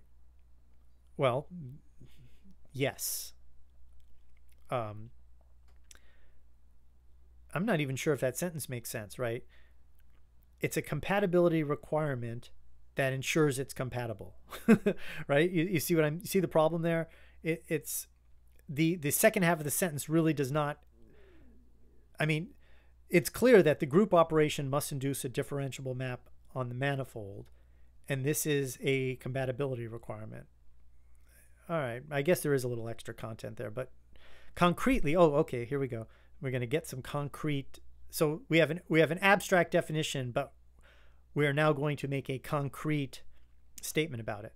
Concretely, this means that every group element, say A, there's a comma missing there, right? If you're going to say say A, comma, induces a map that takes any element of the group B to another element of the group C equals AB. And this map must be differentiable. Using coordinates, this means that the coordinates of AB must be differentiable function. Oh my God this is a wreck. This is a train wreck of a paragraph, right? Because now he's talking about coordinates. Of course, coordinates are absolutely critical to the understanding of what manifolds are. Manifolds and coordinates are almost like it's the same idea. But if you don't know that, right, that's not going to then all of a sudden what happens is this little marginal comment here, right? A manifold is a set of points, for example, a sphere, another missing comma, that looks locally like flat Euclidean space. Another way of thinking about an n-dimensional manifold is that is a set which can be given coordinates in some neighborhood of a point. For some more information about manifolds, see the appendix. Yeah, okay. Well, that's so that's what he's done. He's jammed up everything that would help make sense of this into the appendix, right? But the idea is that the Lie group, every member of the Lie group has coordinates, right? The Lie group is literally a manifold, which means every member can be identified by coordinates. But now suggesting that because this definition is present in our minds, we can understand that there is one distinguished Lie group for each Lie algebra. Uh, and now he's going to talk about that distinguished Lie group as being simply connected. What he's talking about is the universal covering group here. And there's pre precisely one simply connected Lie group corresponding to each Lie algebra. Yeah, you know, boy, he's really, really burning through this concept fast. And, and the ambition here is tremendous. I want you to understand the idea of doing this subject for an undergraduate in this few number of pages – it's almost hopeless. And I'm not impressed so far. I got to say, the appendix on man. All right, let's check out the appendix on manifold. What do you think? All right, let's take a look. Um, let me go back to the comments here. Uh, um, I don't think Zee's book is for beginners. I wouldn't, you know, I, I looked at it a long time ago. Nothing, nothing, nothing about quantum field theory is for beginners, right? the, the idea, Sven, that there is a beginner's quantum field theory book, I think that's kind of absurd. Now, having said that, I am looking at a book by a man named McMahon called Quantum Field Theory Demystified. And it's not bad. I, am really impressed with this demystified theory. I have three. I have like relativity demystified, I have quantum field theory demystified, and I think I have supersymmetry demystified. And I'll tell you what, they're not terrible books. I actually spoke to the author of one of them once, and he impressed me a lot with and and these books do a good job of distilling the hard parts and and and nailing them down. So but on the other hand, quantum field theory demystified still isn't for beginners. If you don't know classical mechanics, uh, if you don't know good theoretical mechanics, if you don't know quantum mechanics at you know a, a substantial level, like quantum mechanics, like you should have done scattering theory in quantum mechanical scattering theory, which is an advanced topic for the undergraduate level, but it's definitely yes, you've got to have done scattering theory and quantum mechanics. There's no point in studying any QED book, any quantum field theory book, any quantum. I, I, I try to distinguish between QED and QFT. Obviously, they're significantly similar, but the point I'm trying to make is is that there's no beginner. There's no book for a beginner. If you're looking at a book that says it's for beginners, then you know you're you're looking at like uh, some popularization in National Geographic or something. Uh, uh, re- games and thoughts. Remind me Abel's theorem. Uh, I've been reviewing group theory. I just like I've, I've backed all the way up to the, like the orbit stabilizer theorem and and uh, uh, remind me what Abel's theorem is, please.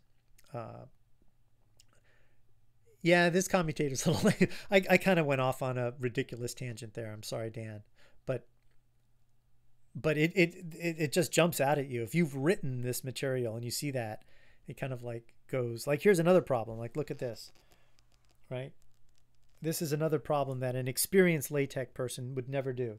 See it says top half and then 67 is a footnote right? I'll try to get it up so you see there's actually a footnote there and it refers to this footnote here well first of all it's too close to the f right if you see that, you throw in a space. You can do that. It's not hard. You throw in a space. So they didn't throw in a space there. On the other hand, they're not, you know, throwing in all of these SO2s, SU2s in the text, that's a pain in the butt, right? there's a lot of reasons and a lot of ways to write your text where you don't have to throw in where every time you refer to this, you don't put it in there, but it's very edifying to do it. So the author definitely took his time to do it, but then he has like this thing, you know, and so it's kind of funny. Okay. Um, no, we're not dumping uh, Gilmore Sahaf. Uh, thanks for asking. We will be adding things to Gilmore. No, this is just, I'm just checking into this a little bit. Hopefully, this book turns around fast. Um, uh, imagine studying differential manifolds in a paragraph. Yeah, exactly, right, Jimmy. Let, we're going to check out this appendix though, so let's let's not let's not go too fast too fast on that. Um, it's an undergraduate book. Don't be hard on it. You barely studied Lie. Well, that's the problem, right, Amar? Is that's that's the whole that's the issue here. It's an undergraduate book, but there's no point teaching an undergraduate something where when they leave they feel like they they feel like they um, got a perfunctory level of stuff that doesn't make them any smarter on the subject. And that's what I'm worried about with that particular paragraph. It's too ambitious, right? The ambition is very high. So I was very excited to see how he pulled it off.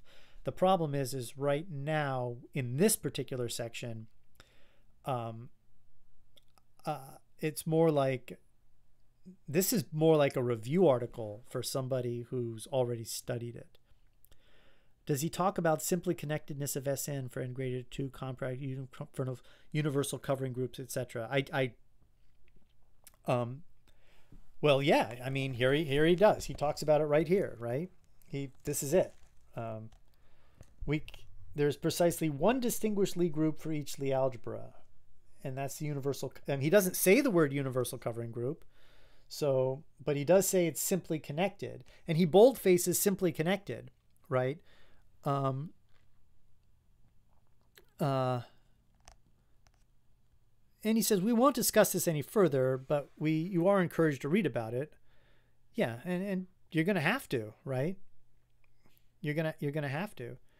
Um, you know, it's interesting. He does talk about this proof in a book by Spivak. I do have a book by Spivak, but not this one. I probably should get that one. That'd, that'd be worth getting and, and doing this proof.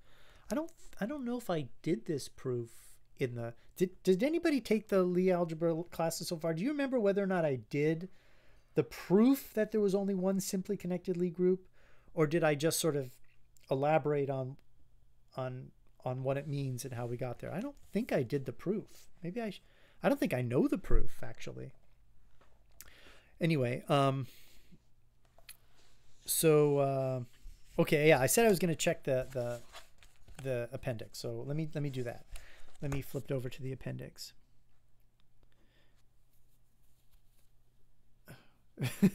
yes, Dennis, I, I kind of feel like it's a little better than that, than the water is a livability requirement that ensures you live. I agree with, I, I felt like that is, right? Um, I think it's a little better than that, you know, but yes. Um, uh, there's no need to go on kicking the guy. He's already dead. Oh, is that a shame? Is that, is that true? I, first of all, yeah, I, I, um, you're right. First of all, I am being a bit rude. Uh, I, am trying to recommend a textbook. I guess in some day I'm allowed to review the book, and I guess my statements constitute a book review, right? Um, I, I don't feel like a book review is kicking the guy. Uh, uh, but gee, I don't I don't want to be mean either, Sahaf. So I'll, I'll tone it down. Thanks. Um, uh, try quantum field theory tourist guide for mathematicians. Uh, I mean Zee's book on group theory. Uh, no, no, we're not. Gilmore's book is really it, it's it's good. It's it's really great. It's it's the only book of its kind, and um, you know, I found something in that book that I was worried about too, right? It was that whole idea of how he defined cosets. I still have not made any sense of that. I can't believe it took me this many years to notice that. But buried in there is this really weird definition of cosets. And, you know, I'm beginning to think how can I possibly be critical of Gilmore? It may be that with Lie groups themselves, given the compatibility requirements, as, as they're called, evidently, it could be that the way he defines it is completely legit for for uh, groups. It could be that for every every I guess you would have to say this way: every Lie group for for for Gilmore's sense of what a coset is. Every Lie group um, uh, must have as a subgroup um, its own uh, uh, quotient groups. All the quotient groups you can get out of a Lie group must also be a subgroup of the Lie group. And maybe that's true for Lie groups somehow, and I just don't see it. I mean, he certainly doesn't say that. He, he makes it sound like this is like a general rule for groups but he might mean that it's just for Lie groups. But if so, I've never seen a proof of that. Anyway, um, uh, yeah, Jimmy, just take your time. I mean, there's no rush, right? Unless, unless, uh, I mean, I don't, I certainly don't rush to make the lessons, so you shouldn't be any rush to, to, to, to cover them. But, but do make sure that you either you find another source of material it doesn't even have to be Gilmore straight up. It can just be something else. But make sure that you're you're using a real textbook by a real author. Um, you know, uh, you know that that's a really important thing to do. Uh, it, by the way, can somebody uh, fact check is Mr. Schwichtenberg deceased? Uh, or, or was or was was it? I know we were also talking about Zee. Was it Zee, was that comment about being deceased? Was that Zee or Mr. Schwichtenberg? If somebody could just fact check that for me, I'd appreciate it. Um, how to distinguish if you have a perfunctory knowledge or a deep knowledge of a certain subject.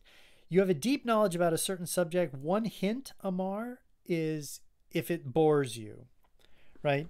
If your familiarity is such that you can't, you can barely stand to think about it anymore, your knowledge is, is getting to be, uh, I, I don't want to say deep. Deep is kind of a weird word, but um, your knowledge is um, uh, you don't have a thorough knowledge until it kind of it's kind of anticlimactic to you, right? Um, yeah, yeah. You know, I kind of get the feeling this book does feel like it was authored by a young author. I, I, I there's an enthusiasm to it about teaching it from this perspective um, I do feel like this is a youthful author. So even if he's not, he certainly has captured a fascination with the subject. Uh, this is a beautifully written book, by the way. I, I I'm I'm kind of skipping over that fact. Like like here, let's look at this paragraph right here. We will see that nature agrees with such lines of thought. Exclam. When you see exclams, you know that's a really good feeling. We're describing elementary particle. One uses the representations of the covering group of the Poincare group instead of just the usual representation one uses to transform form factors. To describe nature at the most fundamental level, we must use the covering group instead of any other groups that one can map from the covering group.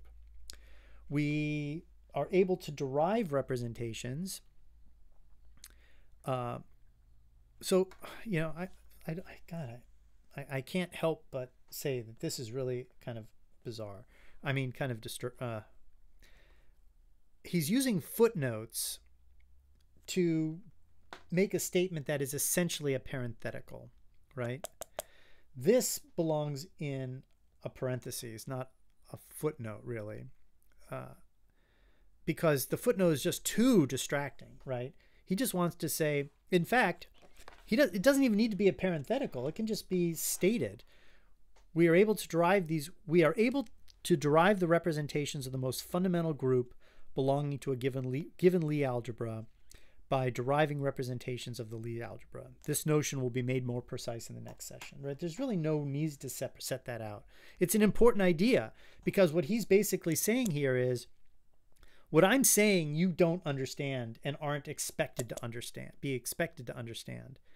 Well, if that's the case, you just got to say that, right? You you don't want to you don't want to distract the reader by breaking up their attention between the text and a parenthetical. You just say it. Just say it. Although we're not in a position to understand this yet, we can derive these representations soon, right? And then herein lies the strength of Lie theory. By using pure mathematics, we are able to reveal something fundamental about nature. The standard symmetry group of special relativity hides something from us because it is not the most fundamental group belonging to, uh, see, I'm having trouble with my camera here, belonging to this symmetry. The covering group of the Poincare group is the fundamental group, and therefore we will use it to describe nature. Now, let me tell you, as somebody who fully understands what he's saying here, that is beautiful. He's definitely nailed it, and you definitely can see that he feels the profundity of this himself. I'm not so sure that the target, sorry about moving around like this, I'm not so sure that the target undergraduates are going to catch that. They're definitely going to catch that it's profound. But the details why, you know, he's got a little chart here, you know, 1 to 1 U2 to SU2, 2 to 1 SU2 to SO3. SU2 is the distinguished group belonging to the Lie algebra because S3 is simply connected.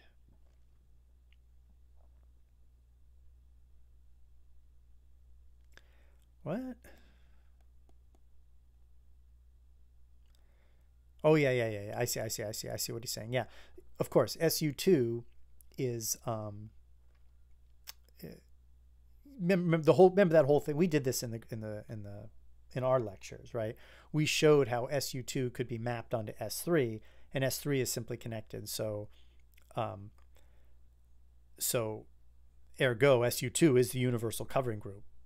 And SO3, you could not do that. In SO3, you could not unwind part of the homotopy group, and so you you you couldn't pull it off, and so it's not simply connected. There were there was the the was it homology group? The homology group is uh, is not is not the identity.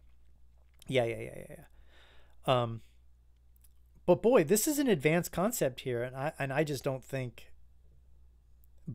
I, just don't think he's up. The, the explanation is is is going to take a student into the confidence zone on this. But um, but then he begins representation theory. So presumably here's where he starts to explain things that should unravel what he's laid out in the previous section. Oh yeah, I keep thinking I keep saying I was going to check into the stuff on the manifolds. Let me let me do that. Let me go back. Linear algebra, calculus, vector calculus.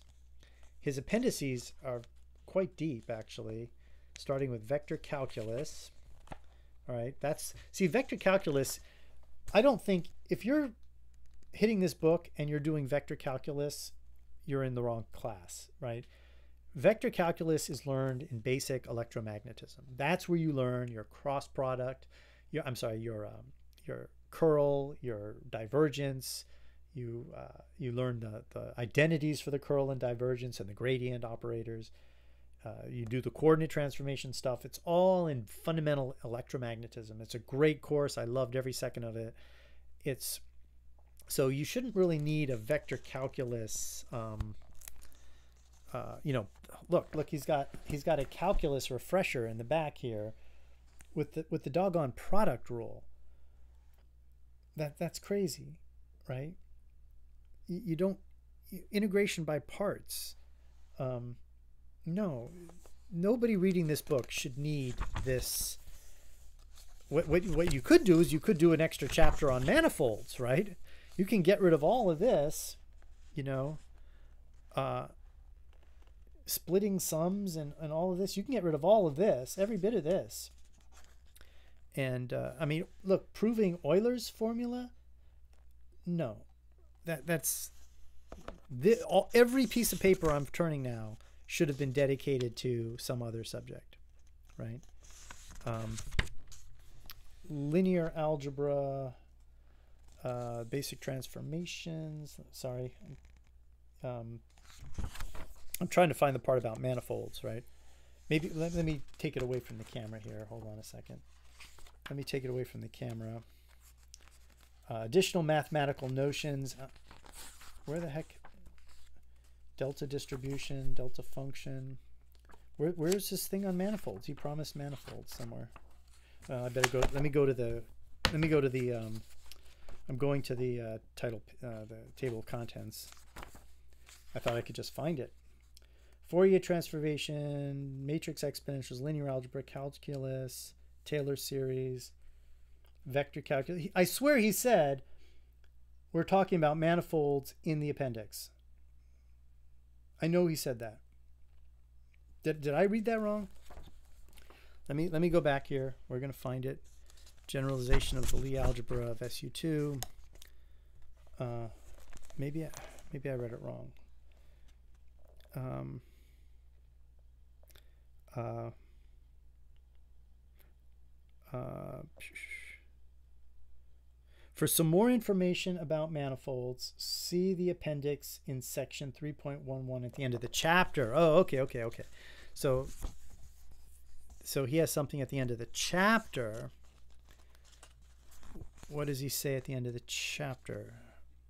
Um, it's uh,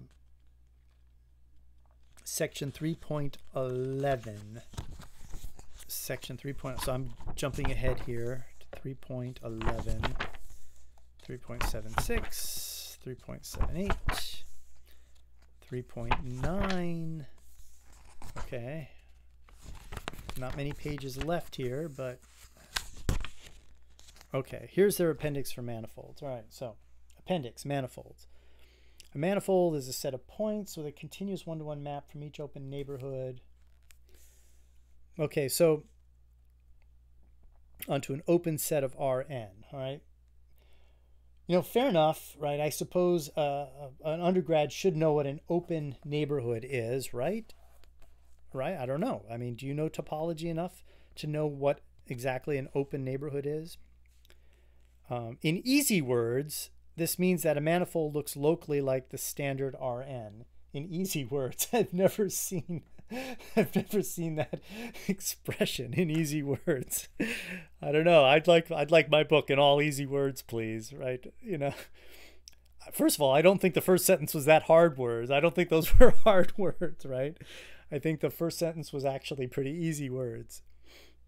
But that does show that he already believes that you probably don't know what an open set is because he feels the needs to make need to make those easy words, whatever that is. Uh, an example of a manifold is an n ball. You know, I'm not sure that. Um,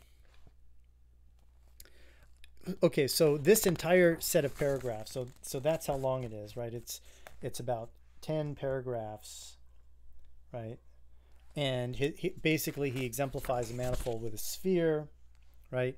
This is not edifying enough at all. In fact, this is not much more than the parenthetical he had not parenthetical, the footnote that he had back here in um, when he introduced the idea, which was back uh, uh,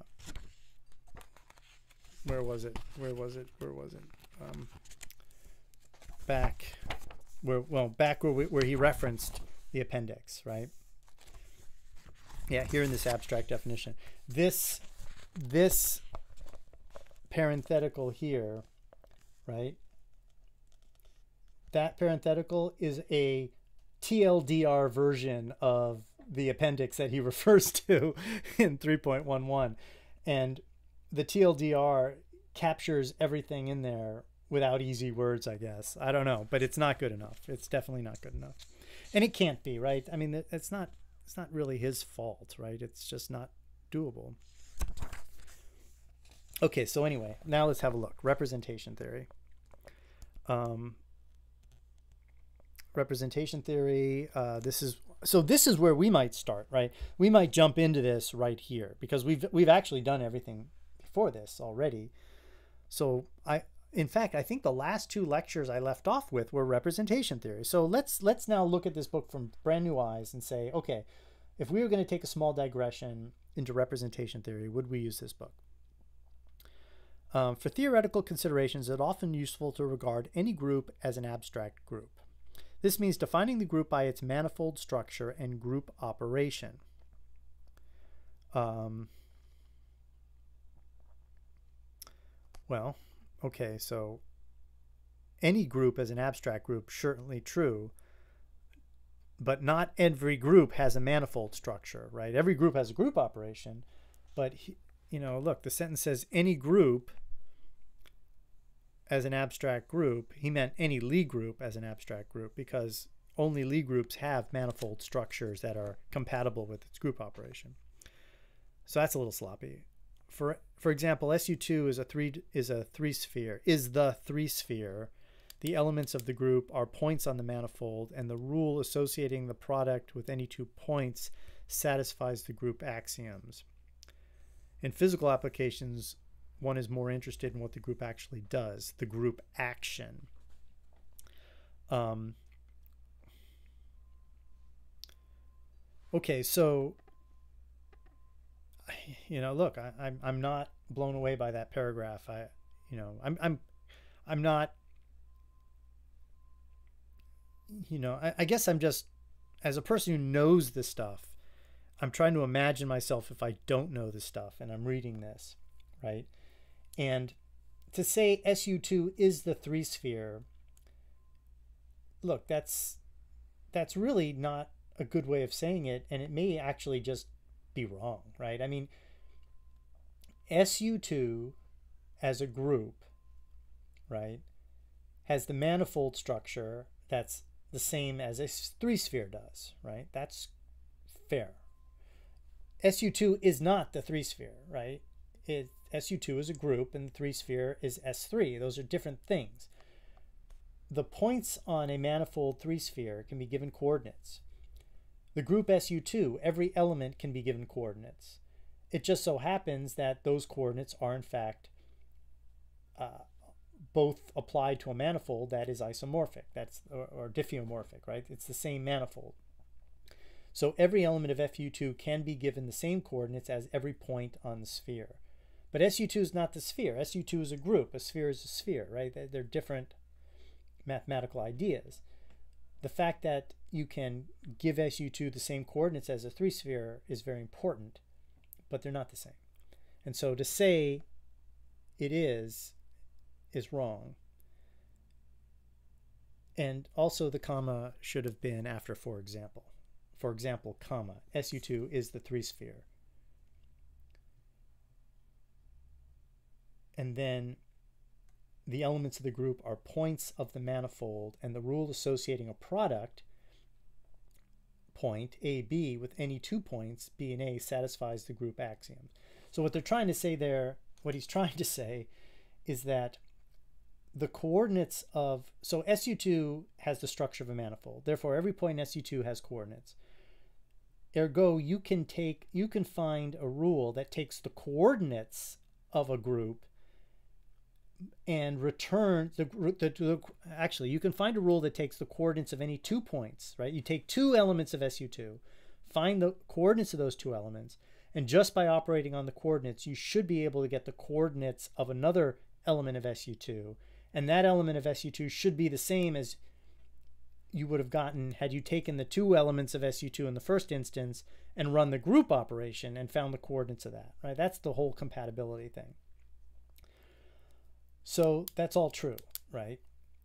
Now, what he's then saying is sort of a non sequitur, right? So he's done explaining the fact of how the compatibility, he's basically done restating the compatibility rule here. And then I guess what he's saying is, yeah, yeah, you can do that, but usually we don't care about that. What we care about what the group actually does, the group action. Right? So yeah, fair enough. But the point is, is you can't. Uh, the, the group action is a concept in group theory, and it's something that I think we should talk about in our class on representation theory. And I'm, that's probably the next lesson is going to be to go back to the idea of a group action. which we already talked about a lot, right? we talk, we've already talked about the idea that every element of the Lie group can be considered as not only a member of a group, but also as a thing, a tool that acts on an, a vector space. But this is the first time he's ever mentioned group action, right? Because his group action is this is a subject of group theory, right? That you know any elementary group theory book usually talks about a group action and then talks about like the orbit stabilizer theorem. But of course he didn't do that. So introducing the notion of a group action is a diver- is a diversion now, but I guess that's what this next section is about. An important idea is that one group can act on many different kinds of objects. 72. This will make much more sense in a moment. See, he's stuck with this. He's got this pattern, right? And this is this this is the third is this the third time? Oh, maybe I'm exaggerating. Maybe it's the second time, but whenever you have to say just keep going, it'll all make sense in a second. You can get away with that once or twice for a certain topic, but that's like becoming a habit here, right? I'm about to say things that make no sense, but don't worry, stick with me. I don't know. That's not a good way to write a book. Um, the idea motivates the definition of a representation. A representation is a map between any group element G of a group G and a linear transformation RG of some vector space V. I hope he defined vector space earlier here. I'm not going to go hunt it down, but I have a funny feeling he didn't. But uh, uh, we should I should check. I should I should check before I say that. Um, in such a way that the group properties are preserved, meaning meaning that the uh, the the linear transformation associated with the group identity element is just the identity transformation. The linear transformation associated with the inverse element is the inverse linear transformation associated with the original element, right? Fair enough. I mean, that's all of course critical. This is all compatibility stuff, right? And the the composition of two linear transformations is equal to the linear transformation associated with the group composition, right? That's this is all compatibility, right? So a representation identifies with each point or abstract group element of the group manifold a linear transformation of the vector space. Yeah, we, we talked about all this. This is very important stuff. Also, we can define a representation as a map. Most of the time, we will call a set of matrices a representation. Right, so the idea is a linear transformation on a vector space can frequently be, or if not typically is, um, represented as matrices. So uh, the representation is frequently thought of as a map from the group to uh, essentially the general linear group of the vector space and the representation is usually thought of as the map itself, right? That's what these R's are. These R's are mappings from the group to the general linear group of the vector space. And that general linear group of the vector space is frequently, if not almost always, considered to be a group of matrices. Um, right, so his habit seems to be, here's another example of, it's basically the same problem, right? For example, the usual rotation matrices are a representation of the group SO3 on the vector space R3. So here he says vector space marginal note 76. I'm not even going to call them marginal notes. They're really footnotes. They're just thrown in the margin. Um, uh, R3. Okay, so what could what could this 76 possibly be? I bet, I haven't read it yet, but I bet it's the definition of something in that very sentence. And the sentence will make no sense unless you do it. 76. Um, here it is. R3 denotes the three dimensional Euclidean space where elements are ordinary three component vectors as we will use them, for example, in Appendix A. Okay, yeah, so clearly he's defining R3 in a footnote, right? This, okay, all right. The, the point is, is this this column of footnotes is it shouldn't be nothing here should be important for understanding. This should all be just to clarify or enhance or uh, provide a footnote for a reference or uh, alert the reader to a common confusion that might appear, right? That's what this should be. And in fact, even some of those should be in the text itself. But in order to make the text brief, he's trying to throw stuff in these marginal notes. So um, the rotation matrix are linear transformations on R3. However, the important thing here is that we can examine the group action on other vector spaces too. Using representation theory, we are able to investigate systematically how a given group acts on very different vector spaces, and that is where things start to get interesting. And actually, that's where this is getting interesting. I'm, I'm, I'm interested in how he's going to explain this. I think that is a good point. And, and highlighting that, that is a good thing to highlight, is, is that may not be an obvious fact. You know, representation theory is very dry, and to point this out is a good idea. One of the most important examples in physics is SU2. For example, we can examine how SU2 acts on the complex vector space of dimension of the dimension C1, right? So like one complex dimension, which is especially easy as we'll see later. We can also investigate how SU2 acts on a vector space of two complex dimensions. The objects living in C2 are complex vectors of dimension 2, and therefore SU2 acts on them as 2 by 2 matrices. The matrices, equals linear transformations, right? That's sort of an AKA there. Um, that sign equals, I think, is not a good. I wouldn't have done that. Yeah, I know what he's trying to say. He's like, matrices are also to be understood as linear transformations. That's fair enough, but um, but uh, anyway, the matrices acting on C2 are just the usual SU2 matrices that we already know. In addition, we can examine how SU2 acts on C3 and even higher dimensional vector spaces. There is a well-defined framework for constructing such representations, and as a result, SU2 acts, for example, on complex vectors of dimension 3 as 3 by 3 matrices.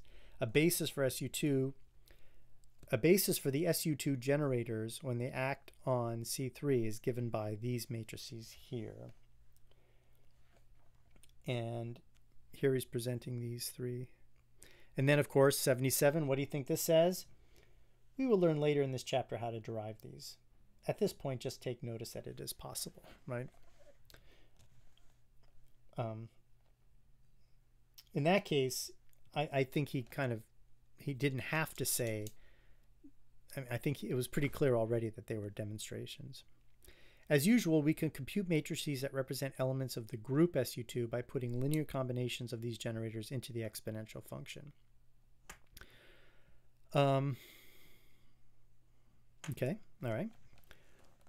One can go on and inspect how SU2 acts on higher dimensional vectors. This can be quite confusing, and it would be better to call this group S3 instead of SU2 because usually SU2 is defined on the set of complex 2 by 2 matrices satisfying this definition. He wants to call this group S3. I've never quite. Uh, in an early draft version of this book, the group was consequently called S3. Unfortunately, such a non standard name makes it hard for beginners. Yeah, I was about to say, wait a minute, why would you call this group S3? so there's a couple problems. First of all, there's the grammar problem, right? Call should mean you're naming it, and naming is using a symbol as a symbol. So you're referring to S3 not as the group, but as the symbol to name the group. So you should have quotes. That's my opinion. Um, you've got the you've got the footnote that is not separated from the word sufficiently, so that's a problem. And then you've got uh, you're basically asserting that your own choice of name is confusing I don't know. I, I would not have done this. I wouldn't have done this. I mean, I don't have an editor, but I, I wouldn't have gone down this road. I guess the idea is to be sort of uh, less formal, right? You want to be less formal. Say, hey, look, I wrestled with this idea of calling this group S3. Um, I'm not even sure S. I don't see how you could ever call it a, a group S3 at all. I, I just S3 is a sphere. It's already got a thing. It's already naming something. And it's literally a manifold and it's not a group at all. It's it's a manifold. It's a it's a it's a sphere, right? Anyway, um so All right, so I'm going to back up a bit. Um,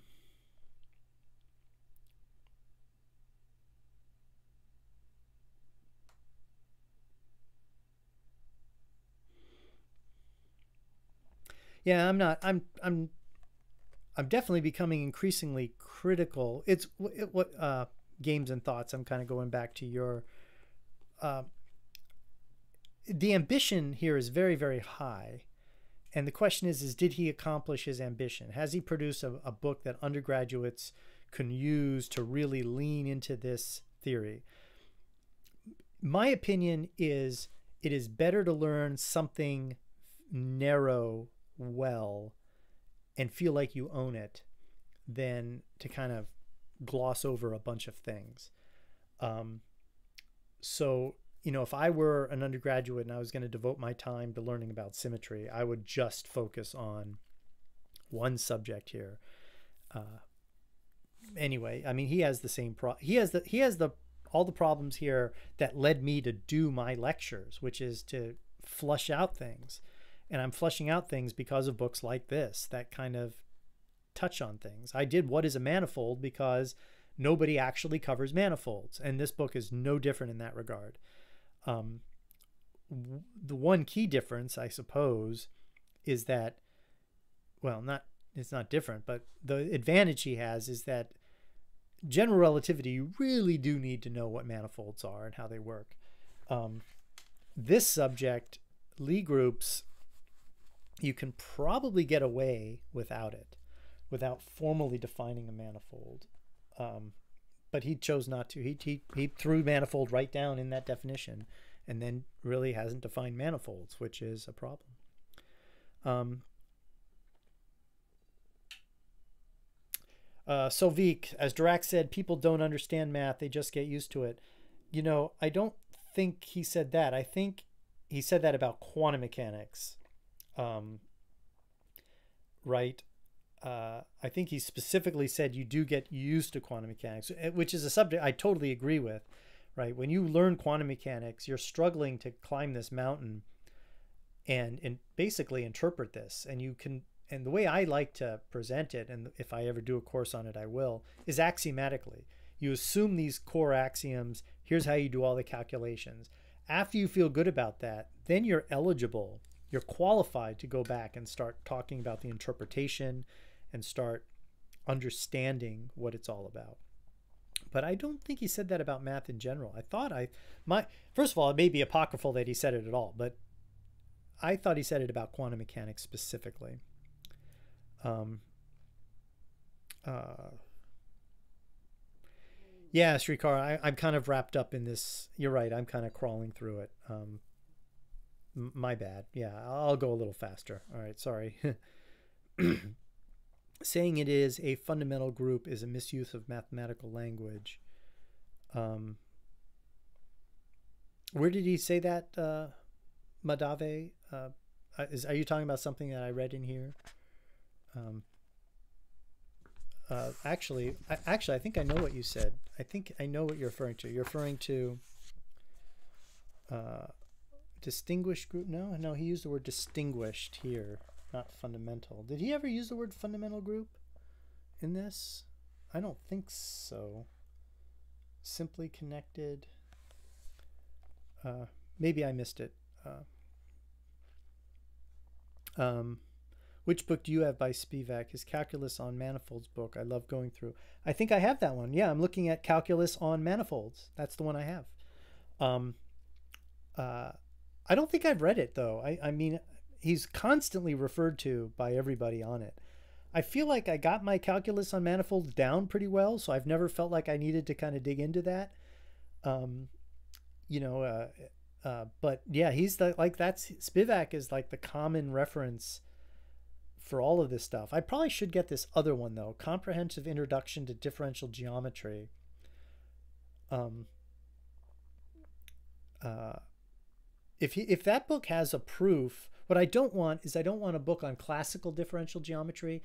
I have a book on classical elementary differential geometry, and I never really studied it too much. I mean, I did the basics, but I never really, I didn't really pour through the whole thing for sure. Um, I don't want another book on classical differential geometry. On the other hand, if he has a proof about this particular uh, distinct, if he has a proof, I guess what does it say here? Um, there's precisely one distinguished Lie group for each Lie algebra. I'm not sure that I prove that, but so I'd like to see that. Um, so maybe I should buy this book, uh, Comprehensive Introduction to Differential Geometry. Hopefully, it's general enough. I'm going to put that on my list of things to buy with the Patreon money that you guys have so graciously uh, given to me. I have, I have enough to buy, you know, like this book, right? Do you regret buying this book? I would have. You know, I don't regret buying this book. Um, because like I said, when when you understand it, it actually is a very nice, tight presentation of things, and uh, I have yet to fully. I want to see. I'm sure that he does a good job of talking about how all this stuff applies to quantum mechanics, uh, elementary quantum mechanics, and I want to see that. Um, by the way, the LaTeX class uses kaobook. Unfortunately, this class is a pain when it comes to formatting, hence many errors if the author is not used to LaTeX. Oh, really? Uh, are you able to tell Ildog what version of LaTeX he used? I've never heard of kaobook. I just use AMS LaTeX, and I certainly know that, you know, those lines can be done better. Also, the notes on the side are side notes, not footnotes. Footnotes also exist in the class and would be found below the text, bottom line. I like I like the side notes. I'm going to call them footnotes just because, you know, they're basically just it's just a matter of where they are as far as I can tell. But I just don't. I, just don't um, think he's. He sometimes does use it well, right? Like here he says, like here's a good example of one that's done well. Uh, this picture is a bit oversimplified, he writes. Strictly speaking, SO3 as a manifold is still a sphere, but with antipodal points identified. See, that's true. We went through that in deep detail, right? That's a profound and interesting subject, right? the two-dimensional slice of the sphere, which is three-dimensional surface, we can see the top half of the sphere because we get from SU2 to SO3, we identify the two points, blah, blah, blah, blah, blah, with each other. Um, I, I, I, look, I don't think the idea of these antipodal points being identified is a very tricky concept. And it's an important concept and it's a tricky concept if you're not going to go 100%, you don't go at all, right? In some sense, the only reason that this footnote appears here is I think he's worried that somebody who reads this text, who knows what he's talking about, will think like, well, doesn't the author understand this point? Or that's not really specifically, or he's worried, he's worried that somebody like me is going to come along, some jerk like me, and I'm definitely being a jerk here, um, uh, we can think of SO3 as the top half of S3, right? And he's going, well, you know, somebody who knows what he's what what what if somebody who knows the subject is going to say, well, that doesn't that's not right. So he throws in a footnote for the people who actually know, just to prove to the people who know that he knows he's not making a mistake, right? It's not helping any new learner at all, right? So he's covering himself a little bit here. Um, yeah. So anyway, um, uh, anyway, apart from the book, you have plan of starting with representation. Okay, good, because I'm going to do it. I've decided fully to do it now. I, uh, Jimmy Odom writes, I like this book. It seems very helpful for a new entrant into the field, such as myself. A stopgap between your lectures and a hi-fi book. Yeah, this is a great book. If you're reading, my, if you're watching my lectures and you have this book, you're in good shape. Yeah, I agree um, because I fill in all the gaps that I'm complaining about are missing here. That's the point. My lectures would be a good supplement for something like this. My lectures would not stand on their own. Um, and this book, I think, is got is got fill in gaps for whatever reason. Um, and uh, yeah, so I think that's right, Jimmy. Um, uh, yeah, no, I think that's right, Jimmy. I think I think exactly what you're saying is true. Fermat said Longo's margin's not big enough. what is the what is the uh, final assessment on that? I guess we all decided that whatever Fermat's proof was was probably wrong. Salvik, I'm curious if you may know something about that. I'm curious if anybody, I was thinking about this just the other day. I'm curious if anybody out there has ever come up with a theory of what Fermat thought was a good proof.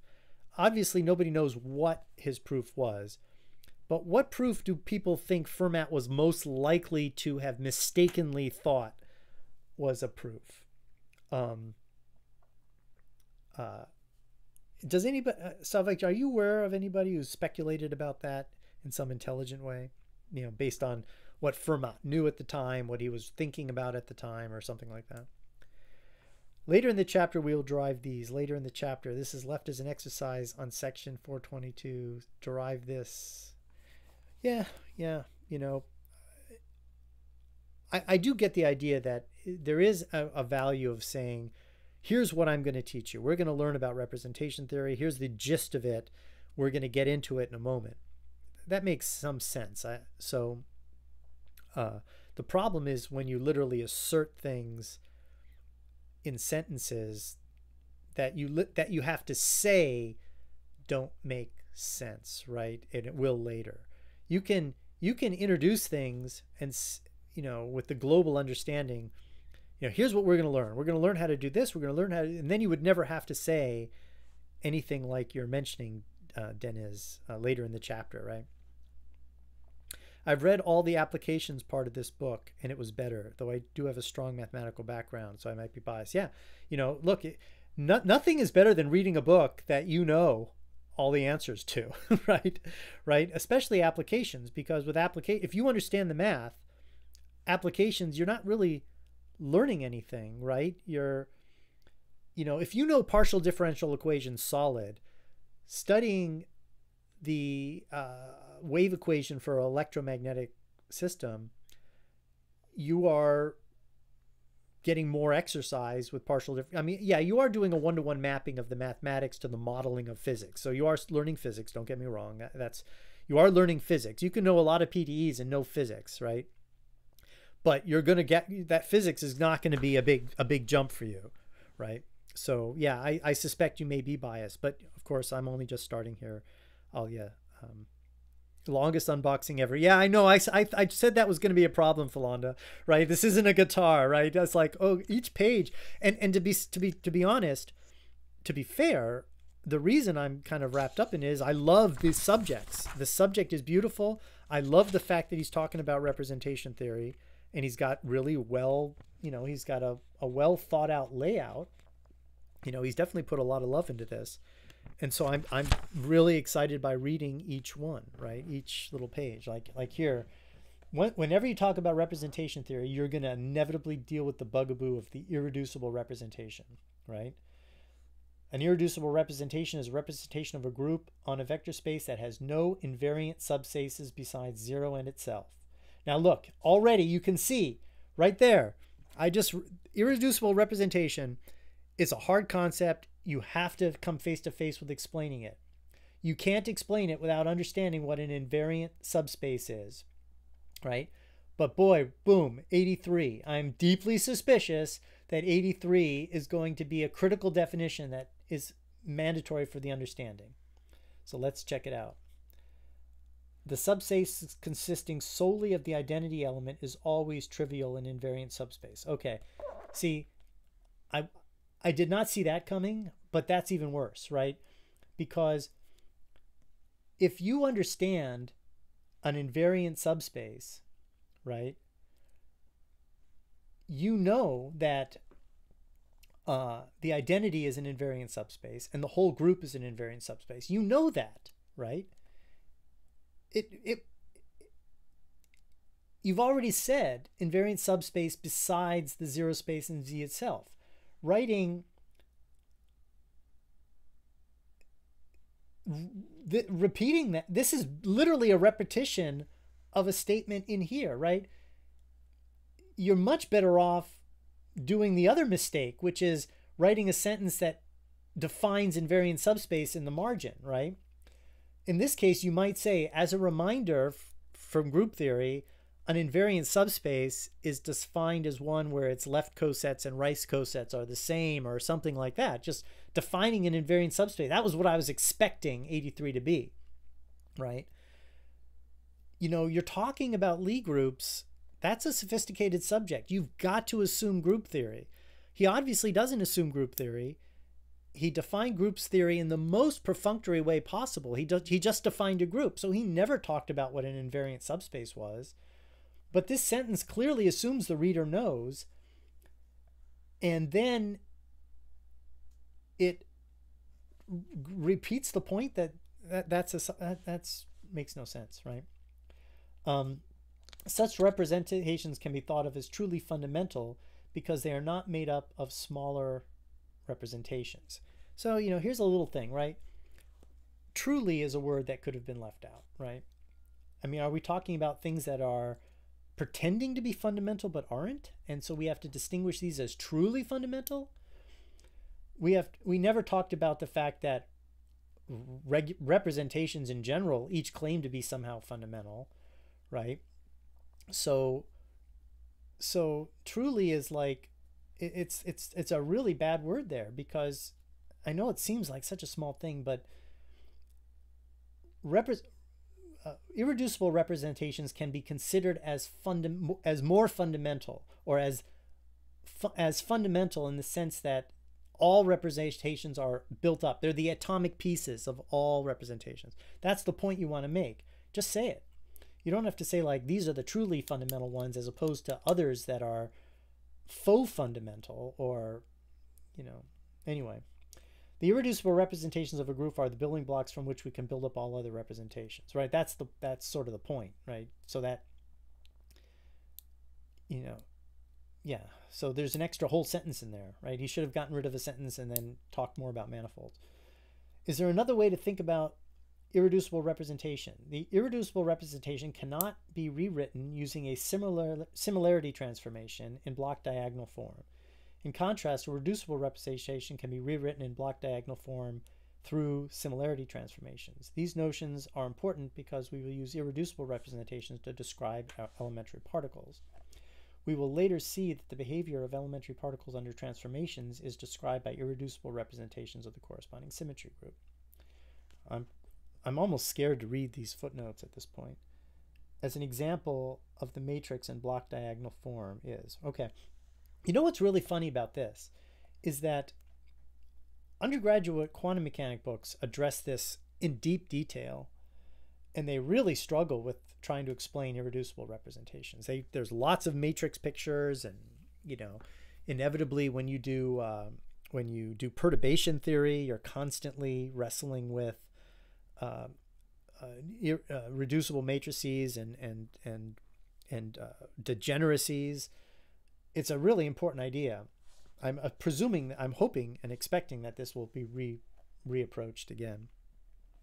There are many possible representations for each group. How do we know which one describes nature? There's there is an idea based on the Casimir elements. A Casimir element C is built from the generators of Lie algebra and its defining features that commutes with every generator of their group. What does this mean?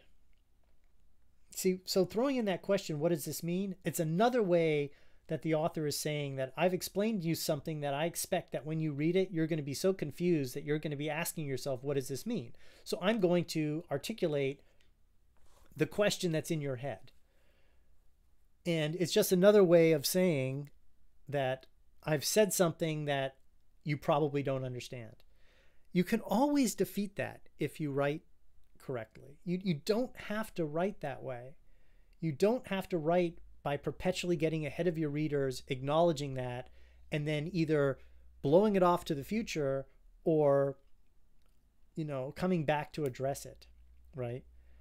I, I think that's I think that's just that's just bad. A famous lemma called Schur's lemma, okay, another missing parenthetical, and then thrown by a footnote, a basic result of group theory, which you can look up in any book about group theory, right? Mm-hmm. An introduction to tensors and group theory for physicists. There's so many books that have that sort of title. I, I even Hermann Weyl wrote a book uh, didn't he write like group theory and quantum mechanics or something?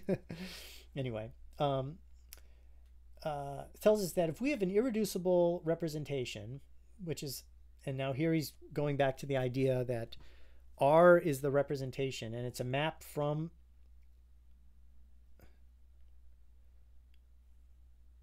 Oh, really? Okay. Wait a minute. Did did he talk about representations of the Lie algebra yet? He talked about representations of the Lie group, right? Did he talk about representations of the Lie algebra? No, he talked about representations of a group. Do you, you see the problem here? This is a representation. G is its Gothic form. That's the Lie algebra. So this is the Lie algebra going to the general linear group on vector spaces. So this is the, the, the algebra representation. Right?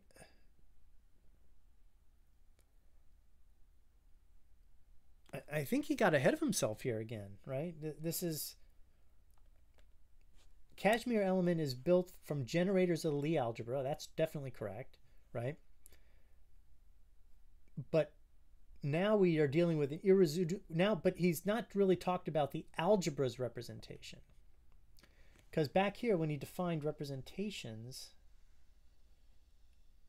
right, up here, this is a a representation of G on V, right? he's never dis- there's two different kinds of representations. There's representations for the group and representations for the algebra. And the reason this is important is the group representations use group multiplication or matrix multiplication to simulate group multiplication. Representations for the algebra actually have addition matrix addition is an allowed property and commutation is the group op is the operation and you know, he's never brought that up. All of a sudden, he's talking about a representation of the algebra. Right, that's a, that's a mess. Is there anything we can say about the vector space V mentioned uh, in the definition of the representation above? An important observation is that helps us make sense of the vector space. Is that for any Lie group, one or several of the corresponding generators can be diagonalized using similarity transformations. In physics, we use these diagonal generators to get labels for the basics vectors that span our vector space. We use eigenvectors of these diagonal generators. The idea is incredibly important and actually understand the physical implications of the given group. This is just one corresponding eigenvalue, several generators. Okay, so the idea is that this book is physics from symmetry, right? I'm going to pause for a second. That's the title of this. And right now, I think you'd be much better off with studying quantum mechanics, right? Quantum mechanics goes a good quantum mechanics book go through goes through all of this stuff and does it better. Now, it is well, I don't know. Maybe, I mean, it, it doesn't do it exactly this way. This did emphasize the algebraic stuff. Let me see what you guys are thinking. I don't know. Um, uh, Spivak has a five series book on modern differential geometry. Really? Should I get all five? How much would that cost? uh, this is the book I recommended. I found it to be a good introduction. I'm a self learner, so I've used other books. I'm a little surprised, Tom. I bet you know more than you think. If you found this book very, very useful. Um, I'm I'm actually uh, uh, you know look I've just started. I'm I'm, I'm on page 55. So, uh, but but um, I'm not seeing it to be at this point anything much better than a typical quantum mechanic books. Like he's about to do representation theory. I can I can just by flipping the pages ahead, I know exactly how he's doing it. He's using raising and lowering operators. He's going to uh, describe uh, uh, the diagonal uh, matrix element J3, the Casimir operator. He's going to identify the representations with eigenvalues of the Casimir operator. He's going to build the matrix elements. This is absolutely standard in quantum mechanics books. And in fact, the amount of time it's taking him to do it, I'm now looking at page 61 here. Right, you can see it right here, right?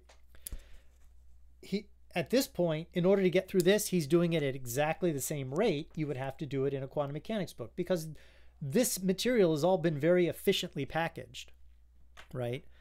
So I'm going to be on the lookout for insightful differences that make this special, um, Tom. But I do appreciate the recommendation. I do love it. I mean, I do like the book. I mean, I, I am going to go through the whole thing, uh, but uh, just because he's calling it Lie group theory, in the end, he's just producing the standard material so far that I'm sorry for the noise uh, that I've seen in regular quantum mechanics textbooks, right? There um, now now here he does a section the Lorentz group 013. This is going to start to diverge. This is where if he does well, he's going to make his money because now he's going to get us into the field theory and the particle theory stuff. So so uh, representations of the Lorentz group are not typically taught. So hopefully it's all going to be there. Um, Spivak's comprehensive introduction to differential volume drums, five volume series. So is this your own written book? If you're talking to me, no. Um, it's called the method of infinite descent. I think from only want to make others jealous. I don't think so. Uh, I, well, I don't know anything about the, these people. I mean, I'm sure they were just as well. I have nothing to say about Fermat and jealousy. Um, uh, man, uh, man, you enjoyed books like Demystified series. Don't you think it shows your double standard here in this book, which is also trying to distill ideas? Well, uh, yeah, except the Demystified series, I really do think that if you read it, first of all, I mean, look, they are what they are. Uh, all these books are written by people who care about the subject and are trying their very best to produce something that uh, they feel like approaches it in a way that is edifying, right? And and I'm the same way. I mean, I've written a couple books and I've I claim the same thing. I've reread my own work, and I'm absolutely shamed and shocked at what I thought was edifying, and what a mess it is. For example, in my my book "Why Does It Move," which is about general relativity, it was all about sort of really getting into what these sort of warp space diagrams are and and how they work and stuff. And I have a section in there about for, uh, visualizing the fourth dimension. And when I wrote that, I was like, man, nobody's written this before. This is like a really good effort at trying to help people visualize the fourth dimension. And I've reread it several times since then, and it's and basically what I've done is I've put in one place a lot of little clever things, but I don't think I've packaged it in a truly, truly revolutionary, edifying form, which is kind of what I thought I was doing when I first did it. So I'm probably going to be rewriting that, right? Um, but the thing is, when you write a book with a real publisher, you've got to go to press, right? I never have to go to press, so it's easy for me to to say this could be better, this could be better, because it always could be better. But the demystified, like, look, I'm going into quantum field theory demystified, right? I, I have it right here in my hand, and um, you know, basically, basically the book lays out the, the, the, what the guy does is he lays out the basic things, provides strong examples, works through standard problems, and and just uh, distills it down and and and provides some very practical techniques. You know, it's not a problem book either, but now I have the same problem that some people in the chat have, right? I know the subject, right? So for a guy who knows the subject, this is like, oh wow, this is really well arranged. But if you don't know the subject, I, you know, it seems to me like it's, yeah, you would need to use it in conjunction with something else. I don't feel like Mr. the author, Mr. McMahon, presumed that this would be a textbook in quantum field theory.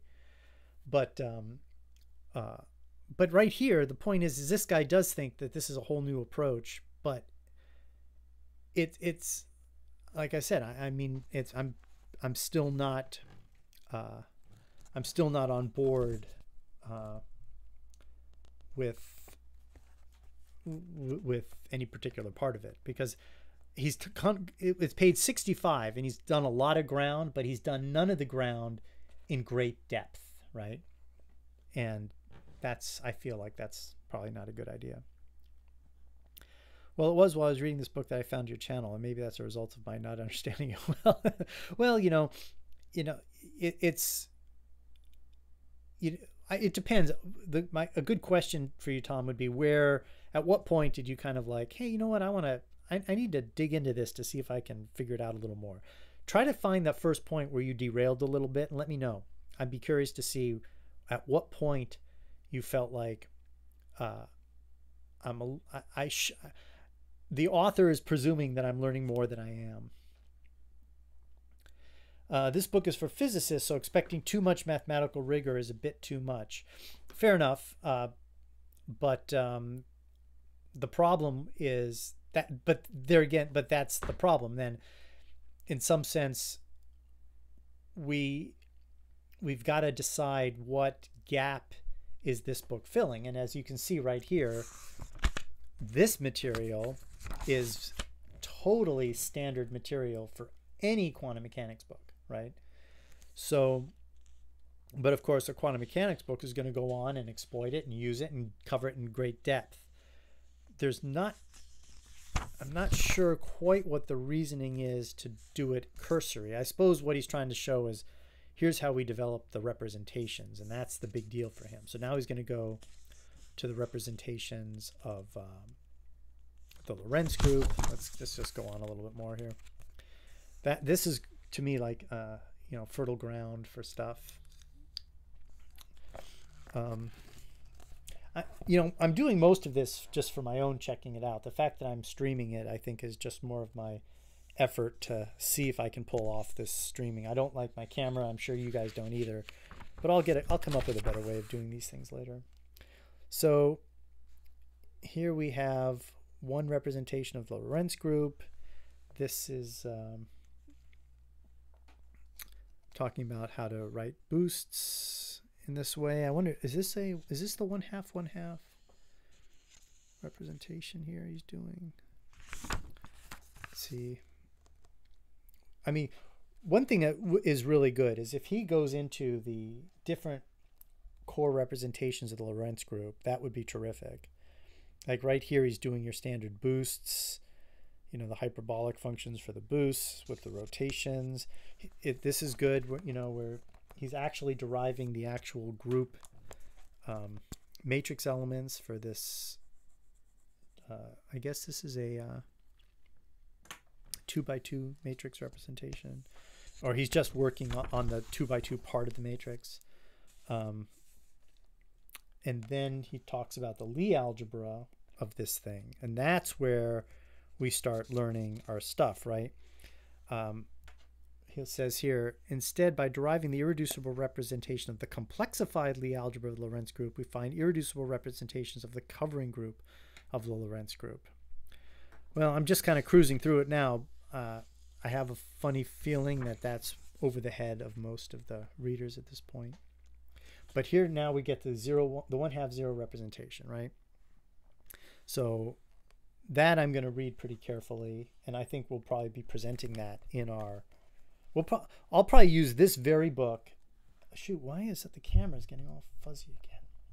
I'll probably use this very book to. Um, come on, I got to work on this autofocus.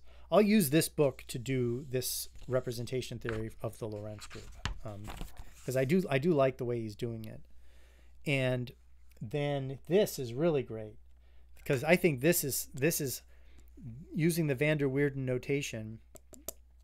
Um, you know, coming up with the left and right spinors really important because you can't build the standard model until you've done this, until you've kind of gone into the Weyl spinors and broke them up like that, and then launched into this van der Waerden notation, which is really beautiful. Let's see if he's got some in here, right?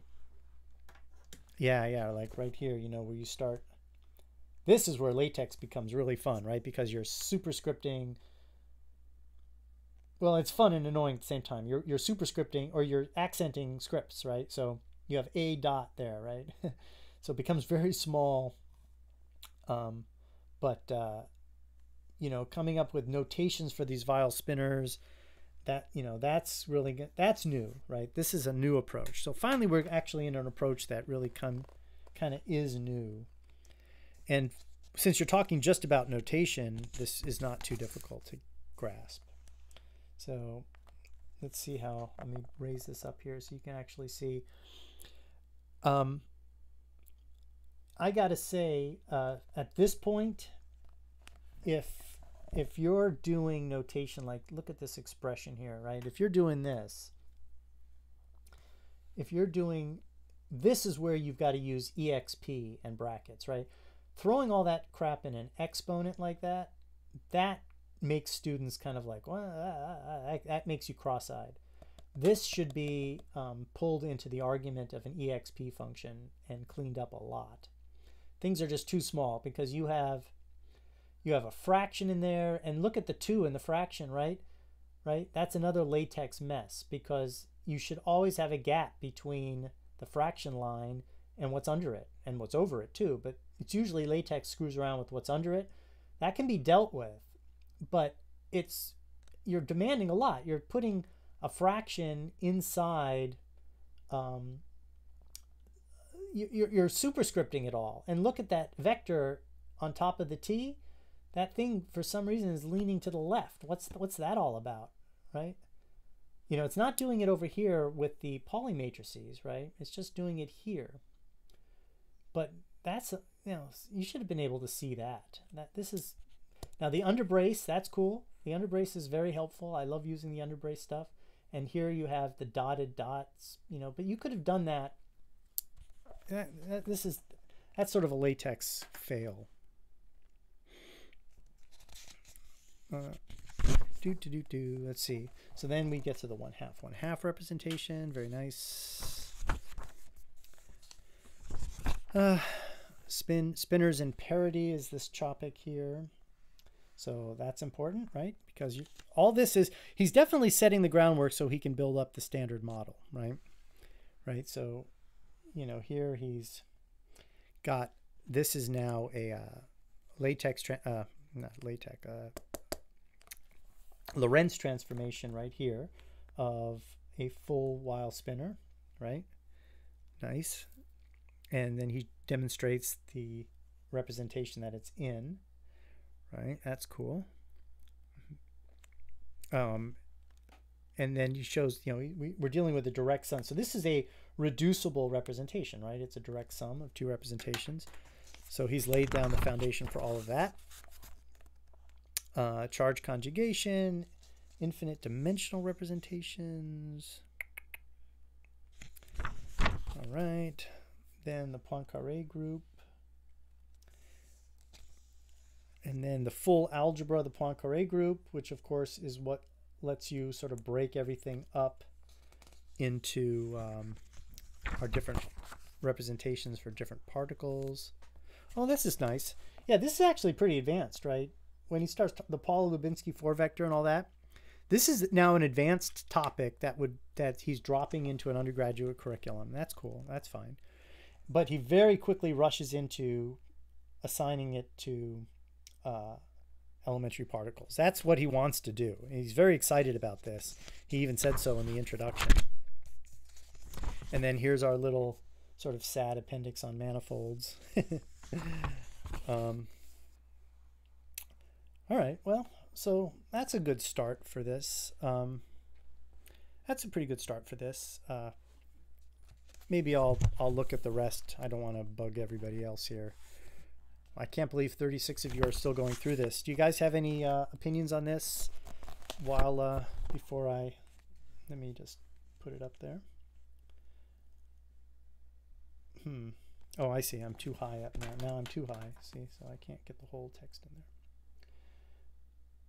First of all, do you guys find this to be of any interest? I mean, I'm, I'm kind of going through this. I was going through this more of as a because I guess because Tom, was it Tom that actually recommended it, and he sounded like he was very excited by it, and and I'm I'm not I'm not quite as down on it as I sound, I guess. I will be reading it, so I will go through it in detail, and I will find the best parts, and I will report back. Um, uh, yeah, I would say, Tom, I'm lo- looking at your comment about. Um, I definitely know about Lie groups more than I did. I would say that you need to learn about Lie groups, and then you use this book, and you should understand this thing seamlessly. And that's sort of a guide on how well you've kind of got the topics down the stuff in here should all seem very anticlimactic. I doubt that you could ever go the other way. I doubt that you could ever read this book, feel like you know about Lie groups, and then go to some other book and feel through it. Um, I, I, think it's the uh, it, it's too patchy, and um, I, I'll tell you what. I'm looking at Modern Quantum Mechanics by Sakurai, and I found when I was a student, I found that book very difficult. Now I believe when I read it, it is literally like poetry. It is such an amazingly excellent, excellent book. I just wasn't quite ready for it when I did it. And it's a shame because it's actually an introductory undergraduate textbook, which kind of shows that his view on what an undergraduate should be when you study this subject was a little more than I was when I studied it. But now when I read it, it is poetry. And um, uh, you know, I, am tempted to pull it out. Uh, you know, hold on a second while I go over there and, and get it um, without moving. Can I reach? I have a trouble. My camera's like between me and my Sakurai book, and so I'm gonna have to move it. Hold on a second.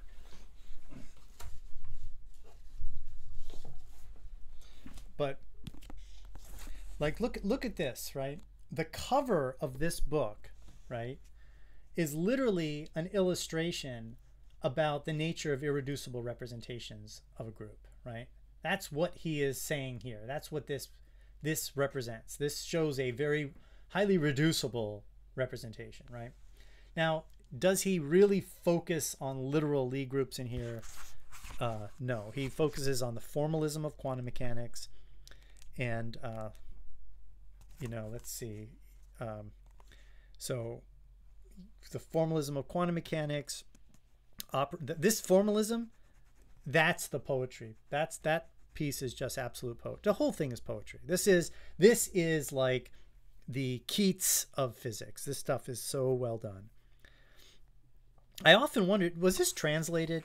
Because I know he Sakurai here. Here's Sakurai, right? He died. I think he died as complications from a car accident or something. Really sad.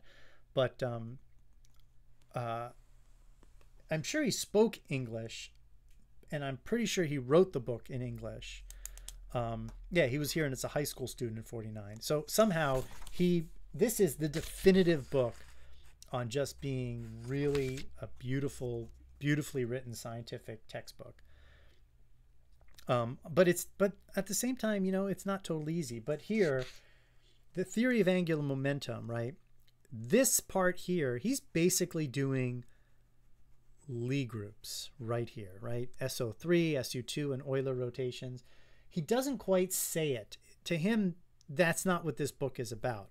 Although, you know, look, symmetry and quantum mechanics, right? So it's in there, but I don't think he literally uses the language. Then the rest of the book is applications, right?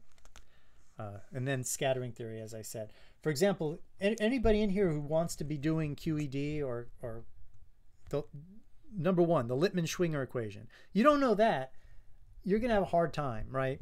So, so QED starts with the Born approximation, Lippmann Schwinger equation, all that stuff.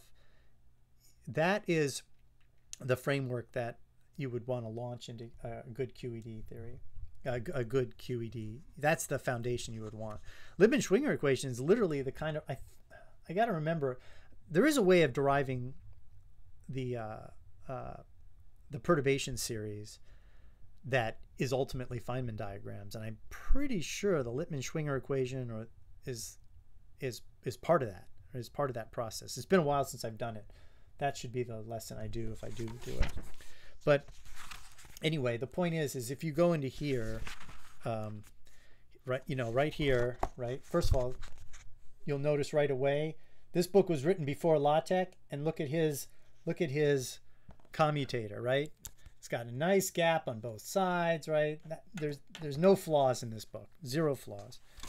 Um, uh, but but uh, you know, you, you just I'm trying to find uh, where's the angular theory, the theory of angular momentum. Potentials and gauge transformation, right? Right here. That's that's a whole chapter. Potentials and gauge transformations. That's a, a pretty insightful concept to have in a book in the 70s, right? Look, here's here he here he, he does this. This is a fundamental quantum mechanics book. He's already got path integrals and Feynman propagators. So, you know, understanding Green's functions at this level, I I, I wasn't prepared for it. But you don't have to read that section either, right? A lot of this is very easy to um, to to put aside, and you could just go straight into the theory of angular momentum. And here, in the theory of angular momentum, kaboom, right there. This is what Schwichtenberg is trying to say in a paragraph. And if Sakurai can't say it in a paragraph, then it can't be said in a paragraph, right? Here he, has got all the same things in here. He's got the rotation group. Um, uh, then he he he he does the abstract rotation group right here. This this is exponentiation. Notice he doesn't jam all this into an exponent. He leaves it right here, right? He he he, doesn't go e to all of this crap. He uses the exp, right? Because he knows you know, who's going to want to read all this stuff jammed up into an exponent, exponential, right? Um, uh, and and then the uh, you know he can derive the commutation relations. Where does he where does he derive the uh, you know um, uh, two pi rotations? That whole thing about the double cover. Now that's where uh, uh, uh, Schwichtenberg does a really good job is he's he's trying to Euclid uh, he's trying to express all this in terms of of more fundamental mathematics, right? That that is true. You know, I, you I don't think you'll see the word double cover anywhere in uh, Sakurai, and you definitely I don't think you'll see you'll see spin one half systems, but you're not going to see the Lorentz group. I mean, here's the here's the spinor, the two component spinor, right? You see that but he's not going to go into the van der Waerden notation. Um, and I don't think he's going to do the two different. Uh, he's going to stick with just rotations, right? SU2, SU3, and Euler rotations, right? The orthogonal group. He calls it the orthogonal group. I don't think the word Lie group ever shows up here, but it doesn't have to, right? This is he doesn't have to use the word manifold, right? You know, you, you don't need the concept of manifold here. And he's, he realizes that if he uses that word, if he says, hey, the orthogonal group is a manifold that has a group property that is compatible with, well, no, the Lie group is a group that is diffeomorphic to a manifold in a way that preserves the group property. He realizes how far afield he's going to have to go. So he, he, so they focus on this. So there's a, I guess my point is there's a reason why the physics from symmetry approach is not fully developed yet as a pedagogy, right? It's because of it's because of all of these problems, right? And now here you see the the ladder operators, all that stuff that's in there, that's in Schwichtenberg. It's it's right here. This book is no, I I doubt this book is any longer, right? It's it's just it's like being good at something. Anyway, I guess comparing a a textbook to Sakurai is totally unfair, right? Because this is literally the poetry of quantum mechanics right here. God, I'm gonna just I'm I'm taking this I'm taking this to bed tonight. I gotta I gotta reread it again. Anyway, um, uh, but before we have a final verdict on this, we should obviously finish reviewing it. Um, let me finish up here. I'm just gonna quickly catch up in in chat and then uh, call it a call it a stream. Uh, like Salvik mentioned, the current theory on what was Fermat's incorrect proof, it's a proof using a method of infinite descent based on his sketch proofing. Oh, okay, cool. So there is somebody who did that. Nice, nice. I've always wondered that, Alia. Thank you for. Uh, oh, Savik said something about that. Um, uh, yes about FLT. It's called the method of infinite descent. So we all think that it's very likely that he used the method of infinite descent somehow. I don't know what that is, but I'm now excited to see it because that's cool. I, I think that's just fun. Cool. I'm glad. That's good. I've always wondered about that. I've always wondered about that. Is what was he thinking, right? Um, uh, sorry, just joined. What book is this? We were talking about the book you see on the screen, Jakob Schwichtenberg's Physics from Symmetry. Although, if you joined a little bit after that, I was comparing it to modern quantum mechanics. One thing you is is it's the same topics, but he doesn't just go in and say we're going to talk about quantum mechanics. He kind of steps back and says we're going to talk about the mathematics of Lie groups and then apply it to quantum mechanics the typical way of doing this is learn quantum mechanics and learn what you need to know about continuous groups there. And and I see the point. I, I see the idea of starting from the other direction. And I and I, I'm actually very sympathetic to that. Um, yeah so I think it's a good idea. Uh, um, well thank you Denise about the, the stream. It is I'm definitely this is my third stream ever and I'm kind of hacking things together with my camera and the stream thing and and I got to find a camera that focuses better. I definitely discovered a weakness in my webcam here, so I'll I'll I have some Patreon money to to buy things that would improve this. So I will do that. I will spend that money to improve the stream. Uh, and buy some of these books. I, am glad Tom recommended this book. I like this book. Uh, uh, as a person who understands it, I think it will help me organize a way of thinking about these things that's different. I would not recommend it for an undergraduate like it's meant for, which is actually a, a pretty heavy criticism of it, I know. But um, but then again, not every book is great in every section, right? We've only done the beginning sections. It could very well be that the later sections are better. In fact, I think Tom, you suggested that that was the case, so I'll look into that, right? Um, uh, you are Vanderweerd. Wait, wait, wait. Where, where was I? You are Vanderweerden. I'm not sure what that means. I wrote master's thesis on this stuff. Well, what stuff? First of all, what was your thesis? That's I always like to talk to people who've done work on a, a narrow subject. Um, you always learn something when somebody mentions that. Um, but can you differentiate under the integral time? Under the integral sign. Do you mean I'm not sure what you mean theoretical. I'm wondering if you're being tongue in cheek. I'm interpreting your your question two ways. Can you swap differentiation with integration?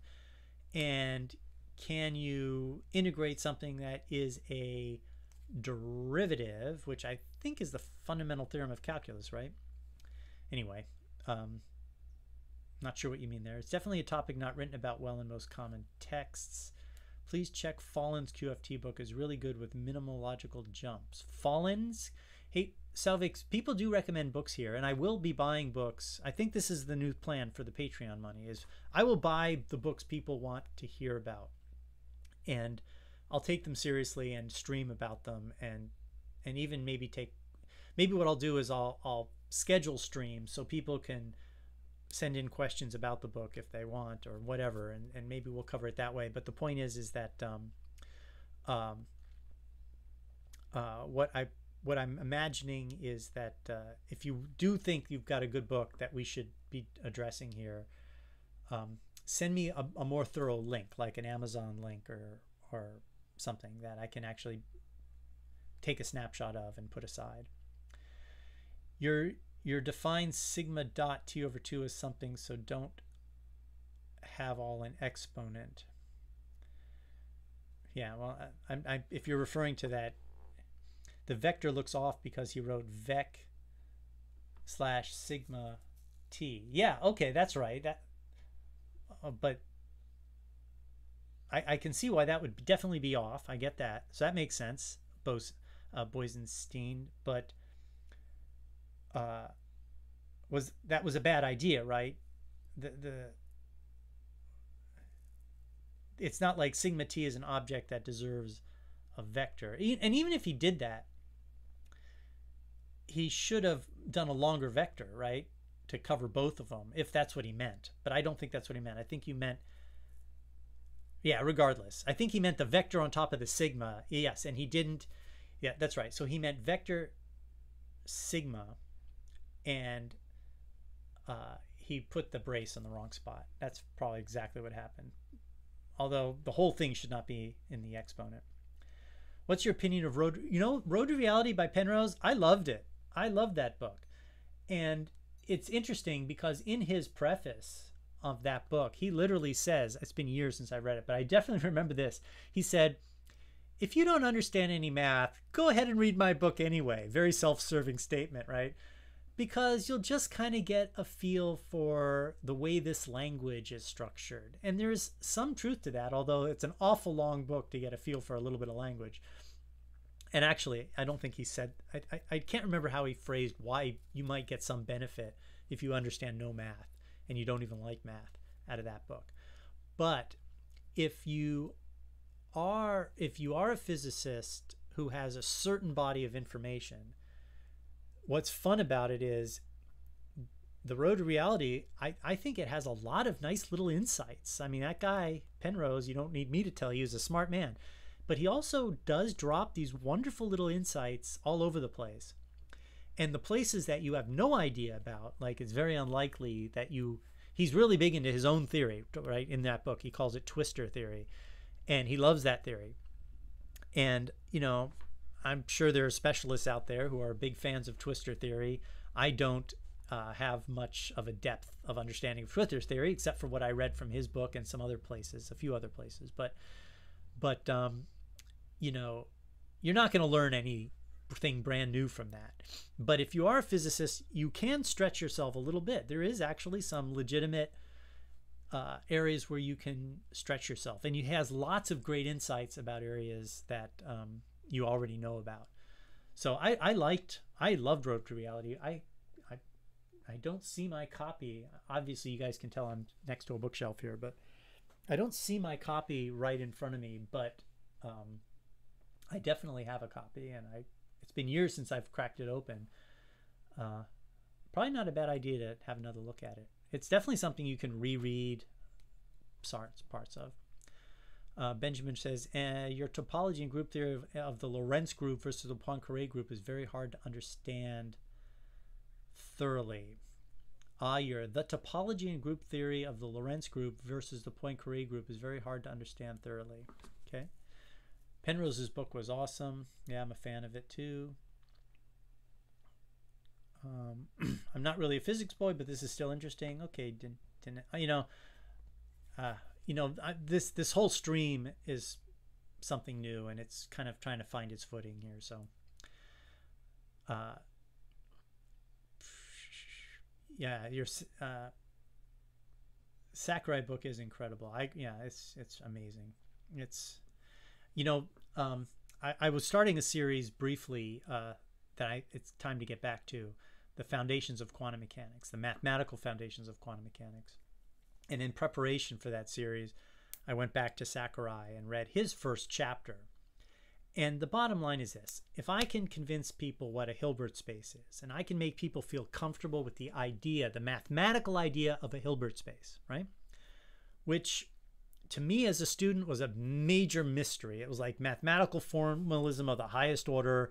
And I was like, oh, I'll never understand what that is. And I kind of got through quantum mechanics as best I could without really understanding what a Hilbert space literally was because I was so good at the mechanical work of doing the calculations. But now, of course, I do understand what a Hilbert space is and I get it.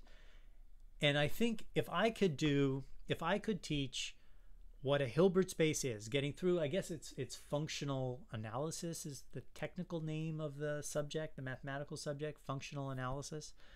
Um, if I could get through that and I think I've started down that road in those few lectures that I did. But if I can get everybody to be really happy with the abstract idea of what a Hilbert space is, then all I have to do is literally read Sakurai's um, uh, up through page. If I read Sakurai up through page 57, no, maybe not, maybe where is it? Uh, fundamental concepts, um, the fundamental concepts chapter, which looks like to me it goes up to the quantum dynamics chapter. So basically up to page 67, right? Do a few of the problems. Then that would be it. You'd be on absolute solid ground for the abstract idea of quantum mechanics. And you could start speculating about all the interpretations and everything. But standing on the notion of a Hilbert space, I think that's the trick. And that's probably, you know, I might just knock that one out. I might just finish that up because that I, am motivated now to do it because having pulled out Sakurai always moves me to tears. This guy, uh, look at that, even the, the beautiful red color. JJ, look how look what a good looking guy this was. Look at look at his smile. Where's his picture? Look at this guy's smile. Come on, tell me that that isn't a man that shouldn't be. That that. Look at that. That's just freaking great. That's just the greatest. I love this guy. I love this guy. I and I'm about to I'm about to I'm I'm tearing up thinking about this. I think in honor of JJ Sakurai and and this effort to teach um, quantum mechanics with some precision, I'm going to uh, maybe just finish up that section and really dig into what a Hilbert space is. Uh, while we while I start preparing for the uh, representation theory stuff. Okay, done. um, uh, I agree with what you're saying earlier, focusing on one type of symmetry or one subject. Yeah, you know, um, although, Paren, remember when I say that, I'm thinking of it as the old guard, right? Jakob, he's trying to do something new here. And his book is, I think, maybe the first the first swing at a new approach to teaching this subject and to getting it into the undergraduate space.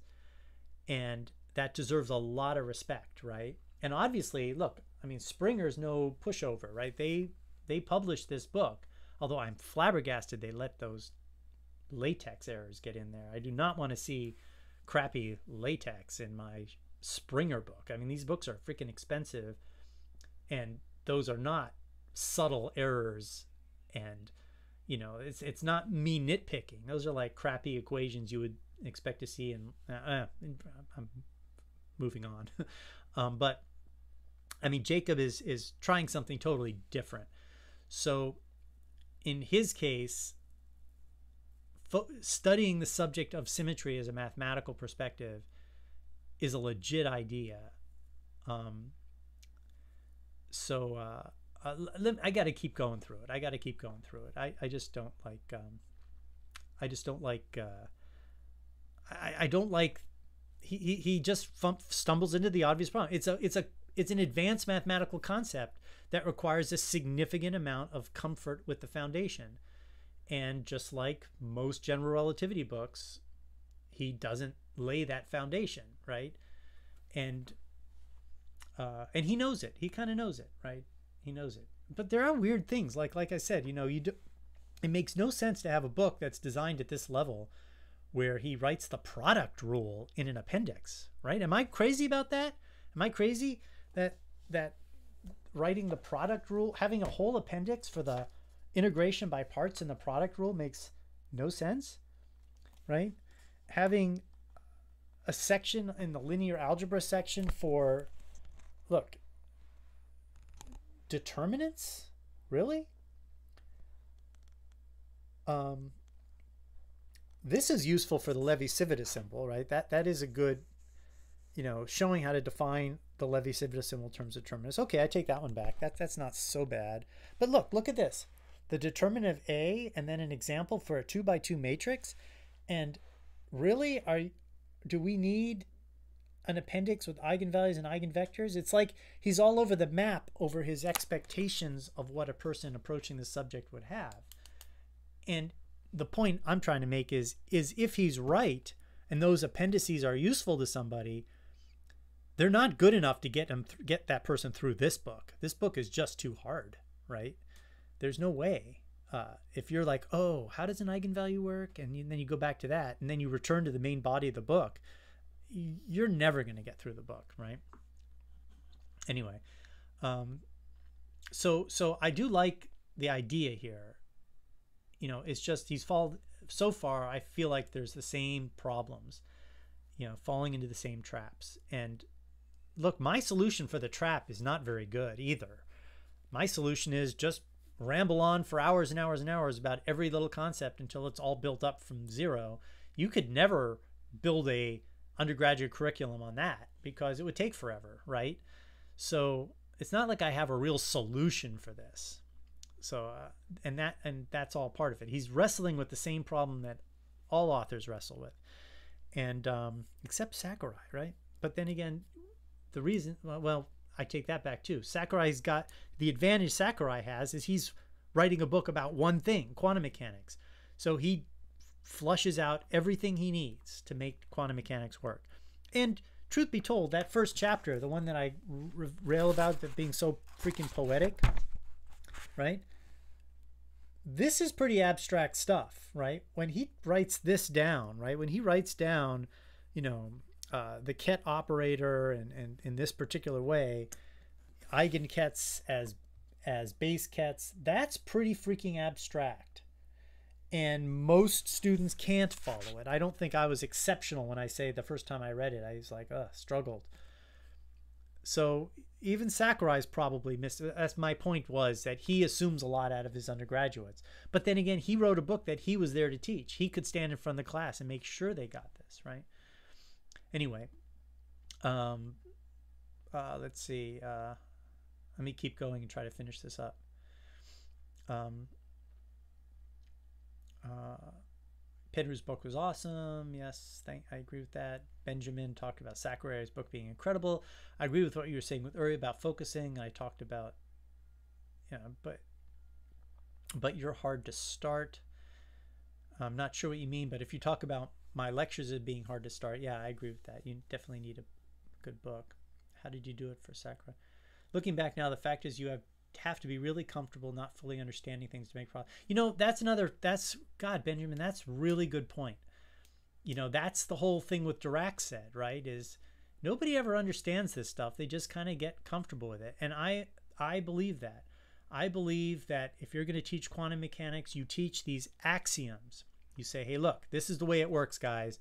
There's this wave function, and the way you interpret it is you it's normalized to one and you integrate it appropriately and you get probabilities and that's the end of the story. Don't ask any questions. The next thing the wave function evolves according to the schrodinger equation. Don't ask why. That is the fact. Next uh, we have this complementarity principle and there's like four axioms right? The complementarity principle correspondence principle principle of complementarity the schrodinger equation and the definition of a wave function we are now going to solve all these physics problems. Getting to those four axioms took brilliant men, you know, from 1915 um, or so to 1950 to figure out. And, you know, you're not, you, you know, let's start from there. And then everybody's like, okay, whatever you say, prof. And then you go through it and then at the end of it, you're like, okay, hey, I'm pretty good with this. I learned about my partial differential equations, my potential wells in one, two, three dimensions.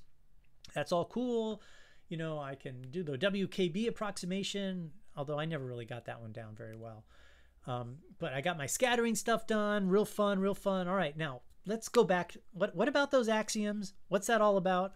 Well, what's the, the measurement one, right? After you make a measurement, the, the wave state of the particle is in an eigenstate of the operator. That's another axiom.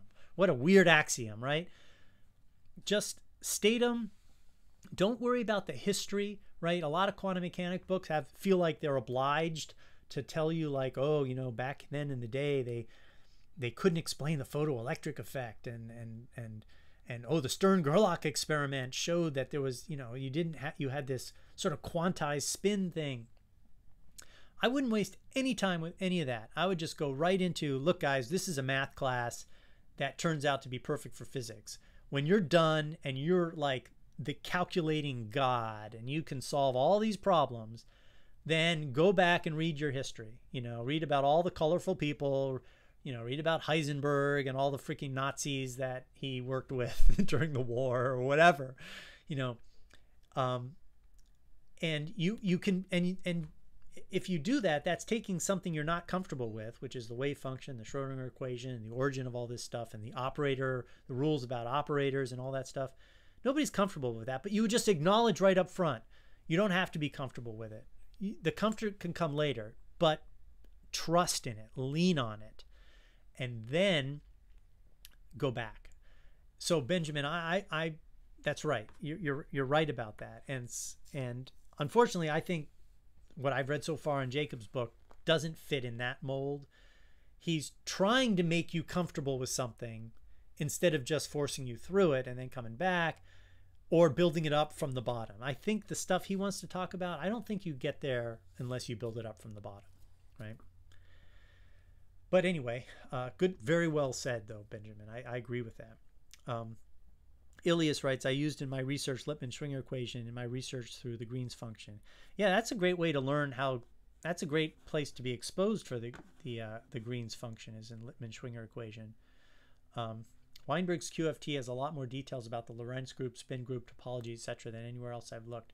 Um, I have his first one, and I have his third one. I don't have his second one. I probably should use some of the Patreon money to buy the quantum theory of fields 2. For some reason, I got number one and number three, but I don't have number two. Number one is good. Um, Weinberg likes to claim that his development of the subject is different than other authors. Um, it is true that in his book on supersymmetry, he uses a notation that's, he doesn't use the van der Waerden notation. He uses a different notation.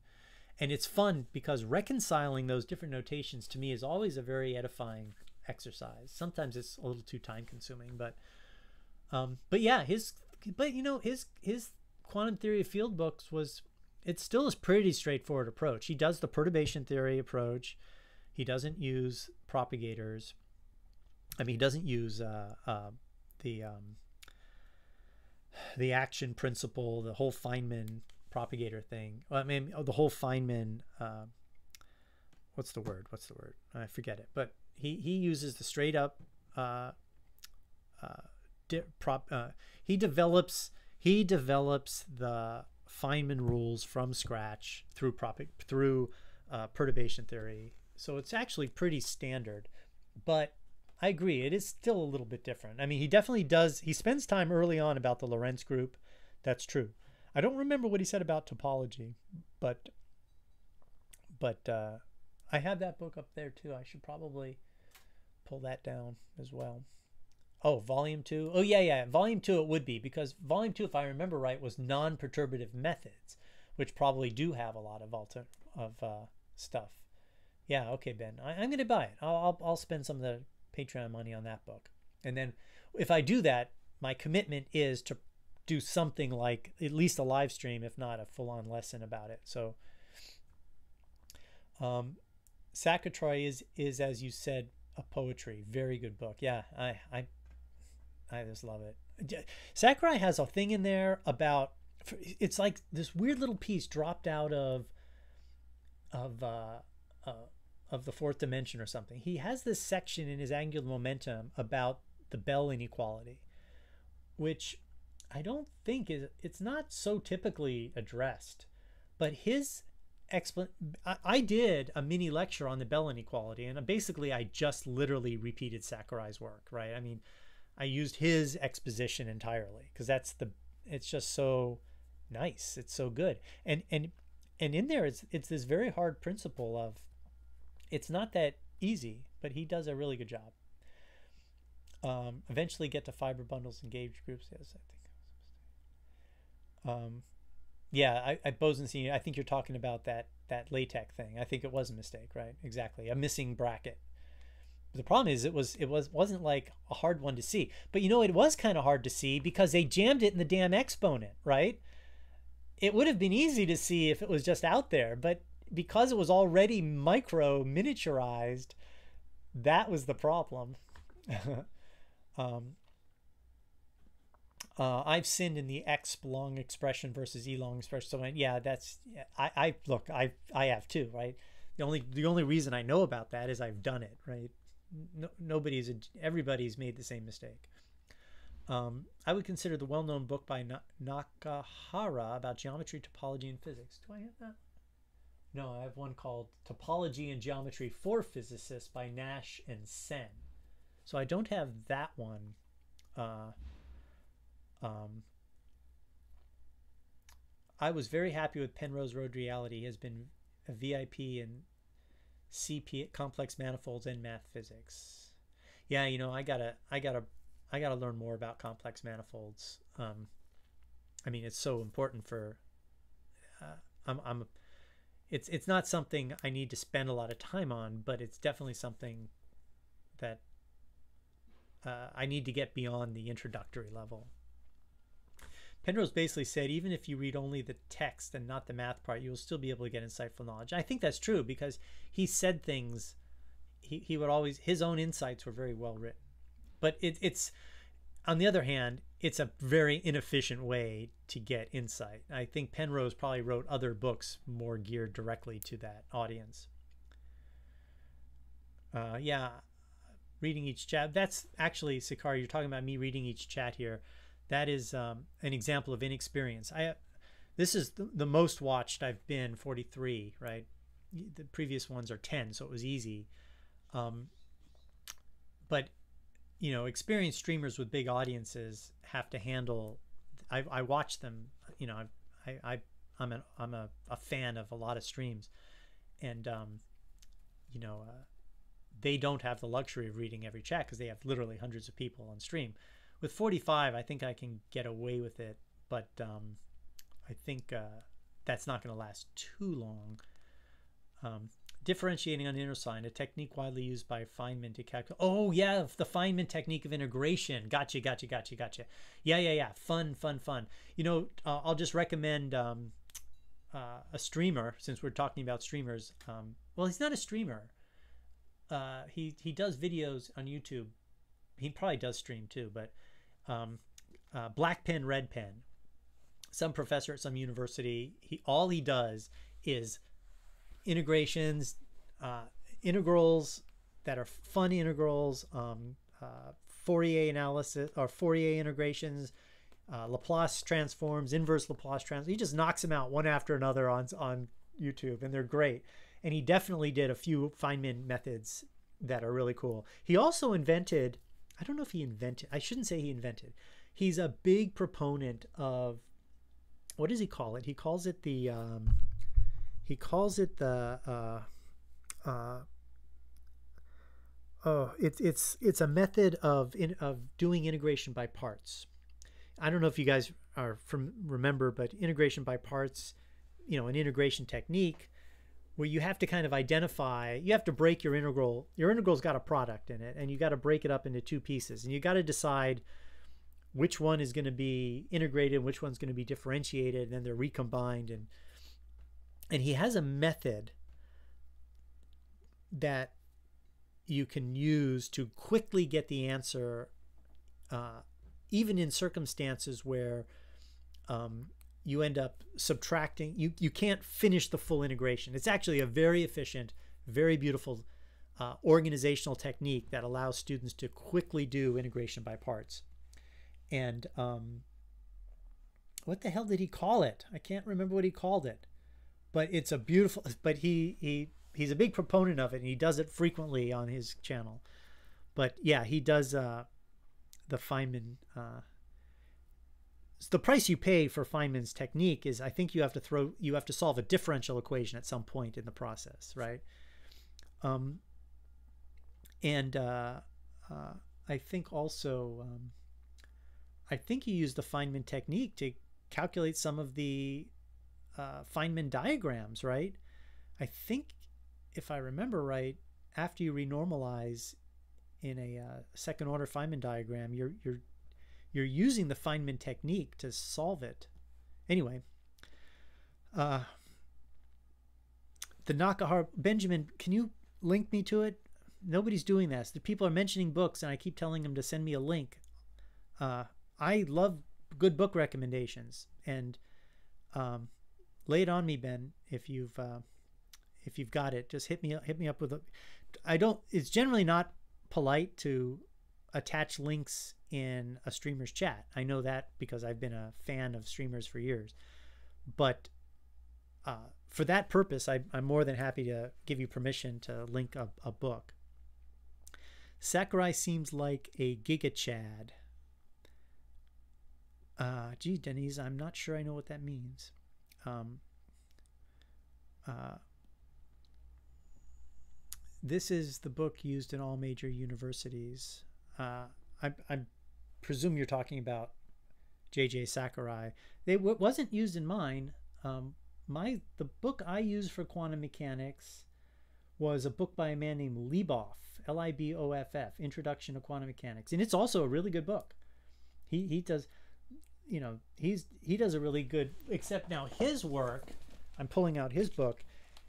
The, you know, the distinction between this is Liboff's book, Introductory Quantum Mechanics by Richard Liboff. Uh, I love this book. Um, but if you look at his introductory stuff, right? Um, let's let's see how he does this. Um, first of all, his his his early review material is really good. He he lays he does a very good uh, review of, of preliminary concepts. Look how old my book is. Oh my god. Um, let me try to find the the, the table of contents here. Um, basic concepts of quantum. So so he he feels the need to do this experiment, this historical review. Um, I I'm pretty sure Sakurai skips that. Sakurai just like you know forget history, forget why we got here, right? You don't need to be motivated. This is the greatest theory that human beings have ever theorized about. You don't need uh, motivation, right? But then you see this the postulates of quantum mechanics, operators, eigenfunctions, and eigenvalues. That's the approach I love. You just lay down the rules. These are the postulates of quantum mechanics. Now, these postulates, I don't even know if they're well motivated by the historical section, but these postulates, um, let's see what they are. Let's let's go back and see what they are. Uh, page 66. I, I think I remembered them, right? What did I say they were? I said they were the Schrodinger equation was a postulate, wave function collapse was a postulate, operators for variables leaving well that's wave function collapse right? Uh, and then the complementarity principle i think that's a big thing. So okay so let's see. Postulate one right is any self-consistently and well-defined observable such as linear momentum there corresponds an operator that acts on the wave function. Okay so the operator acts on a wave function um, and then it says that measurement of A yields values which are eigenvalues of A. So the part of the postulate is, is physical things are operators. They yield eigenvalues of the operators. And, uh, but it doesn't say that after a measurement, you're left in an eigenstate. I don't think that's part of this. That's probably a separate one. So then he gives some examples. So then he goes on and on and on with some examples. And then postulate two, measurement. Second postulate of quantum mechanics is measurement of an observable that yields a value of A leaves the system in the eigenstate. Yep, there it is. So that's the critical, that's the wave function collapse postulate. That's postulate two. Postulate three. The third postulate establishes the existence of a state and its relevance to the properties of a system. So the state of a system at any time may be re represented by a state or wave function which is continuous and differentiable. So What's interesting about postulate three is the way he structures it is definitely wave mechanics, right? It's straight up wave mechanics. And if you look through the material, you, you'll see, you know, integrals of wave functions, you know, composed with operators and things like that. But what you and but what you don't see, and then like for example, postulate four, is that the time development of the wave function is given by the Schrodinger equation. Yeah, I memorized all these. But notice that Sakurai, he doesn't do this. Sakurai does not jump into this wave function formalism. He goes right to the bra-ket abstract formalism. So this, these two approaches are different. And this approach is actually really good for an undergraduate who's good at classical mechanics and calculus because it's functions, it's integrals, it's derivatives, it's not, you don't need abstract vector spaces for this. You don't need to state that this is a member of a Hilbert space, right? The space of all these functions. Let's see, was there another postulate? Was that the last one? Um, yeah, I think no. I guess that was it. I guess there's only those four postulates, right? So this book is really good. I liked. I liked the. Uh, I'm gonna leave it up. Give it. Give it a little bit of an honor while we finish up the stream here. So if you guys are looking for a good book on introductory quantum mechanics, I definitely recommend this. as great. Um, uh, do you know Frederick Schuller? His lectures on YouTube in mathematical physics. I I think I've seen um, some lectures about some kind of summer school, and uh, a lot of guys on a chalkboard. I I can't really watch those chalkboard lectures very well, um, but uh, I think Schuller was was one of the authors on our catalog of space times, though Ben. The catalog of space times was Schuller not one of the authors on that? Let me let me let me quickly. I'm going to quickly Google it. Um, uh, uh, let me. I'm just quickly checking on Google here.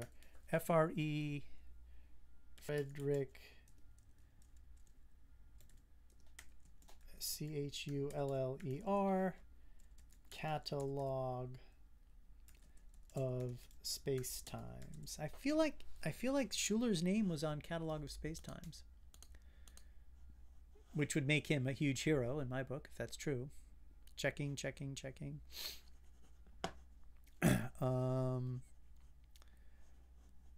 all space times beyond Einstein, Frederick Schuler, causal structure and algebraic. Uh, oh yeah, no, I recognize this guy. Yeah, I, am looking at the.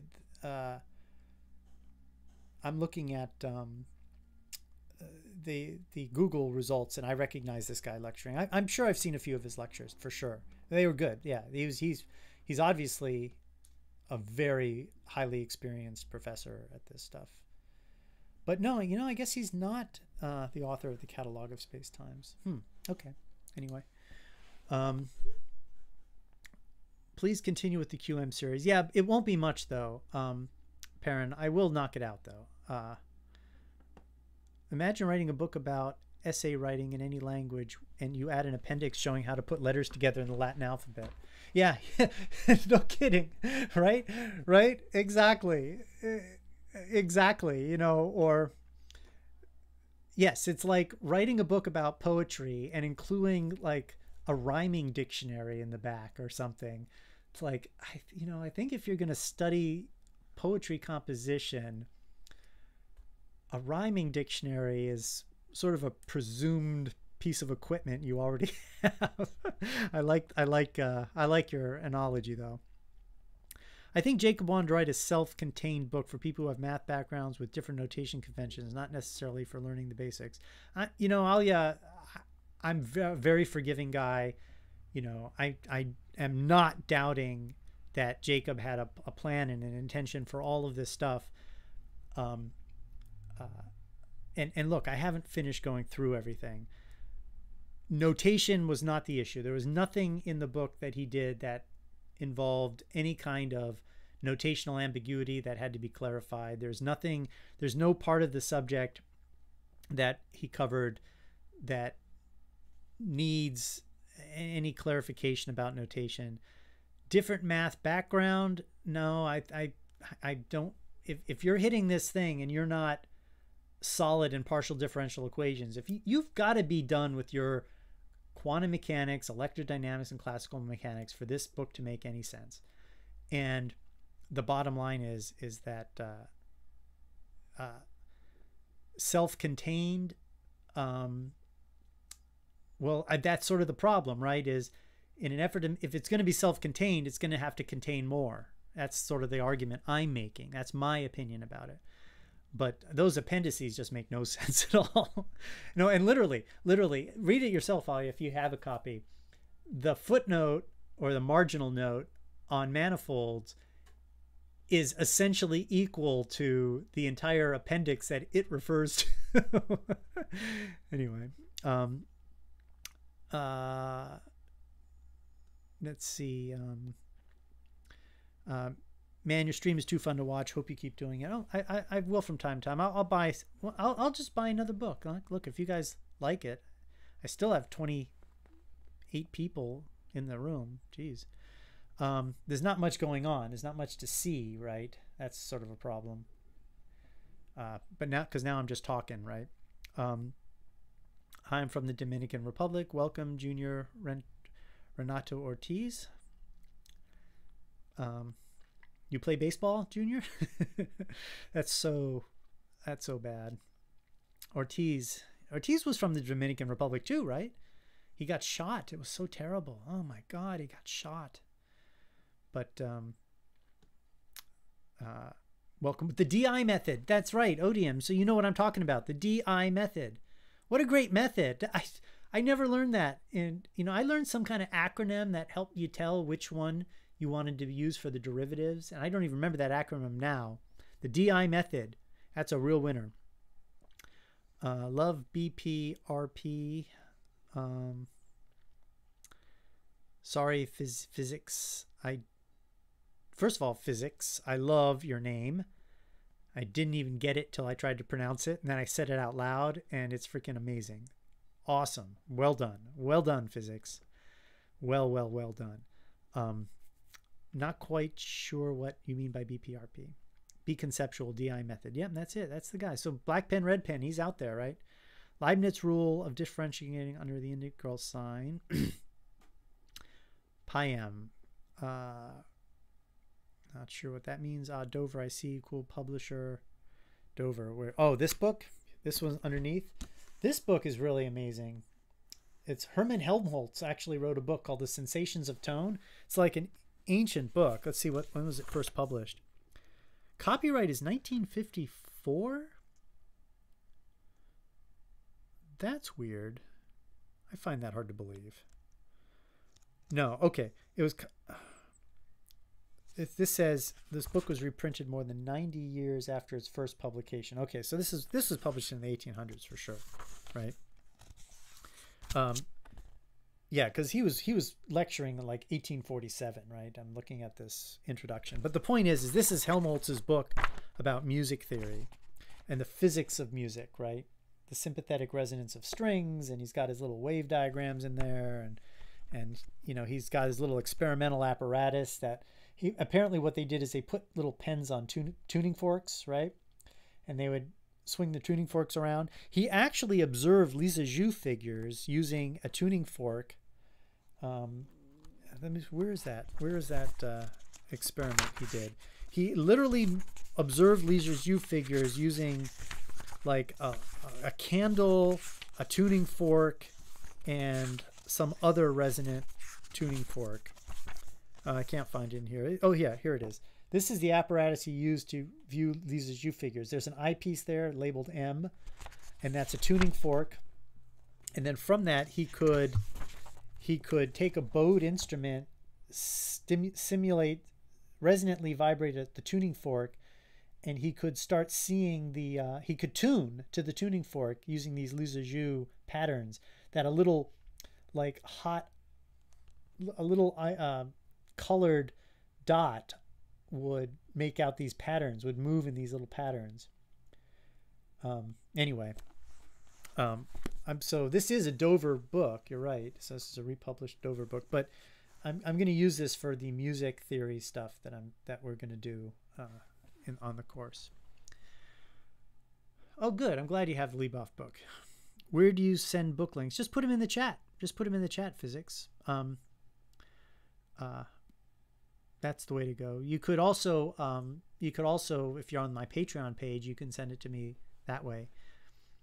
Um, I, am sort of obligated to uh, to follow the advice of the patrons um, first, just because they're so gracious as to support me, and uh, I can actually use their support to buy the books you recommend. Um, what is a self-contained low prerequisite book on GR? You know, I, I just don't see anything better out there than uh, D'Inverno, D I D apostrophe I N V E R N O, D'Inverno. I think that's that's there's you know it, it's it's I think that's good. That that if you're an undergraduate physicist, uh, that'll that'll definitely serve your purpose. Um, uh, Frederick Schuller's channel is now named Adita Bandari. Really? I, I think his account got hacked. Oh, maybe. Huh. Um, I have to go now, but thanks for this. Be nice to chat sometime if you'd like. I'll try to catch next stream or something. You can also find my email via arXiv. Uh, sure. Thanks, Ben. Thanks. No, thank you for for spending time with me. I mean, that's it's your graciousness. Um, black pen, red pen. Yep. That guy does noob integrals, noob problems. really?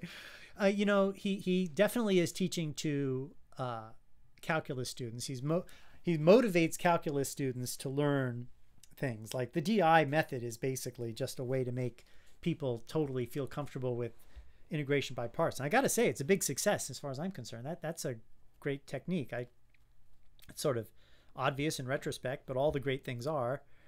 Um, but uh, uh, um, but but look, he uh, he does some pretty challenging. Meh, I don't know.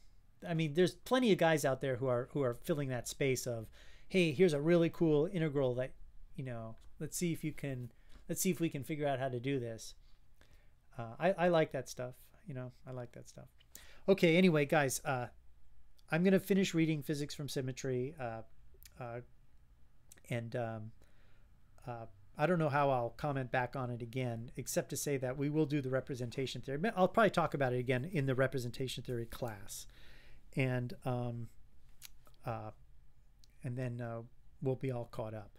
But thanks again for uh, for checking in, and it's been three hours of doing this. Time really flies, but this is a good book. I'm pretty happy with it. And yeah, so send me the links for any of the books you would like me to get. I, I saw a few mentioned. The things I got to take note of is Spivak uh, definitely Weinman, uh, Weinberg's Volume Two. I need to get that. And um, somebody mentioned one other book in here. I'm kind of backtracking here. Uh, uh, yeah, I feel bad. I uh, uh, Amar Sikar, you mentioned that uh, uh, a little bit about a double standard I, I you know, I, I don't know what to say. I, I definitely, uh, I definitely feel like uh, this physics from symmetry book is, it's it's going to have to turn a corner to impress me. And I got to say, the uh, the demystified books, I found them all very impressive out of the bat, out of the gate. So, um, yeah, but you know, it's just an opinion. It's just an opinion what was the other book that somebody recommended here? Uh, it was a it was a field theory book that somebody thought was really really good. Uh, well, I'll dig it up later. Okay, bye. All right, everybody. Thank you.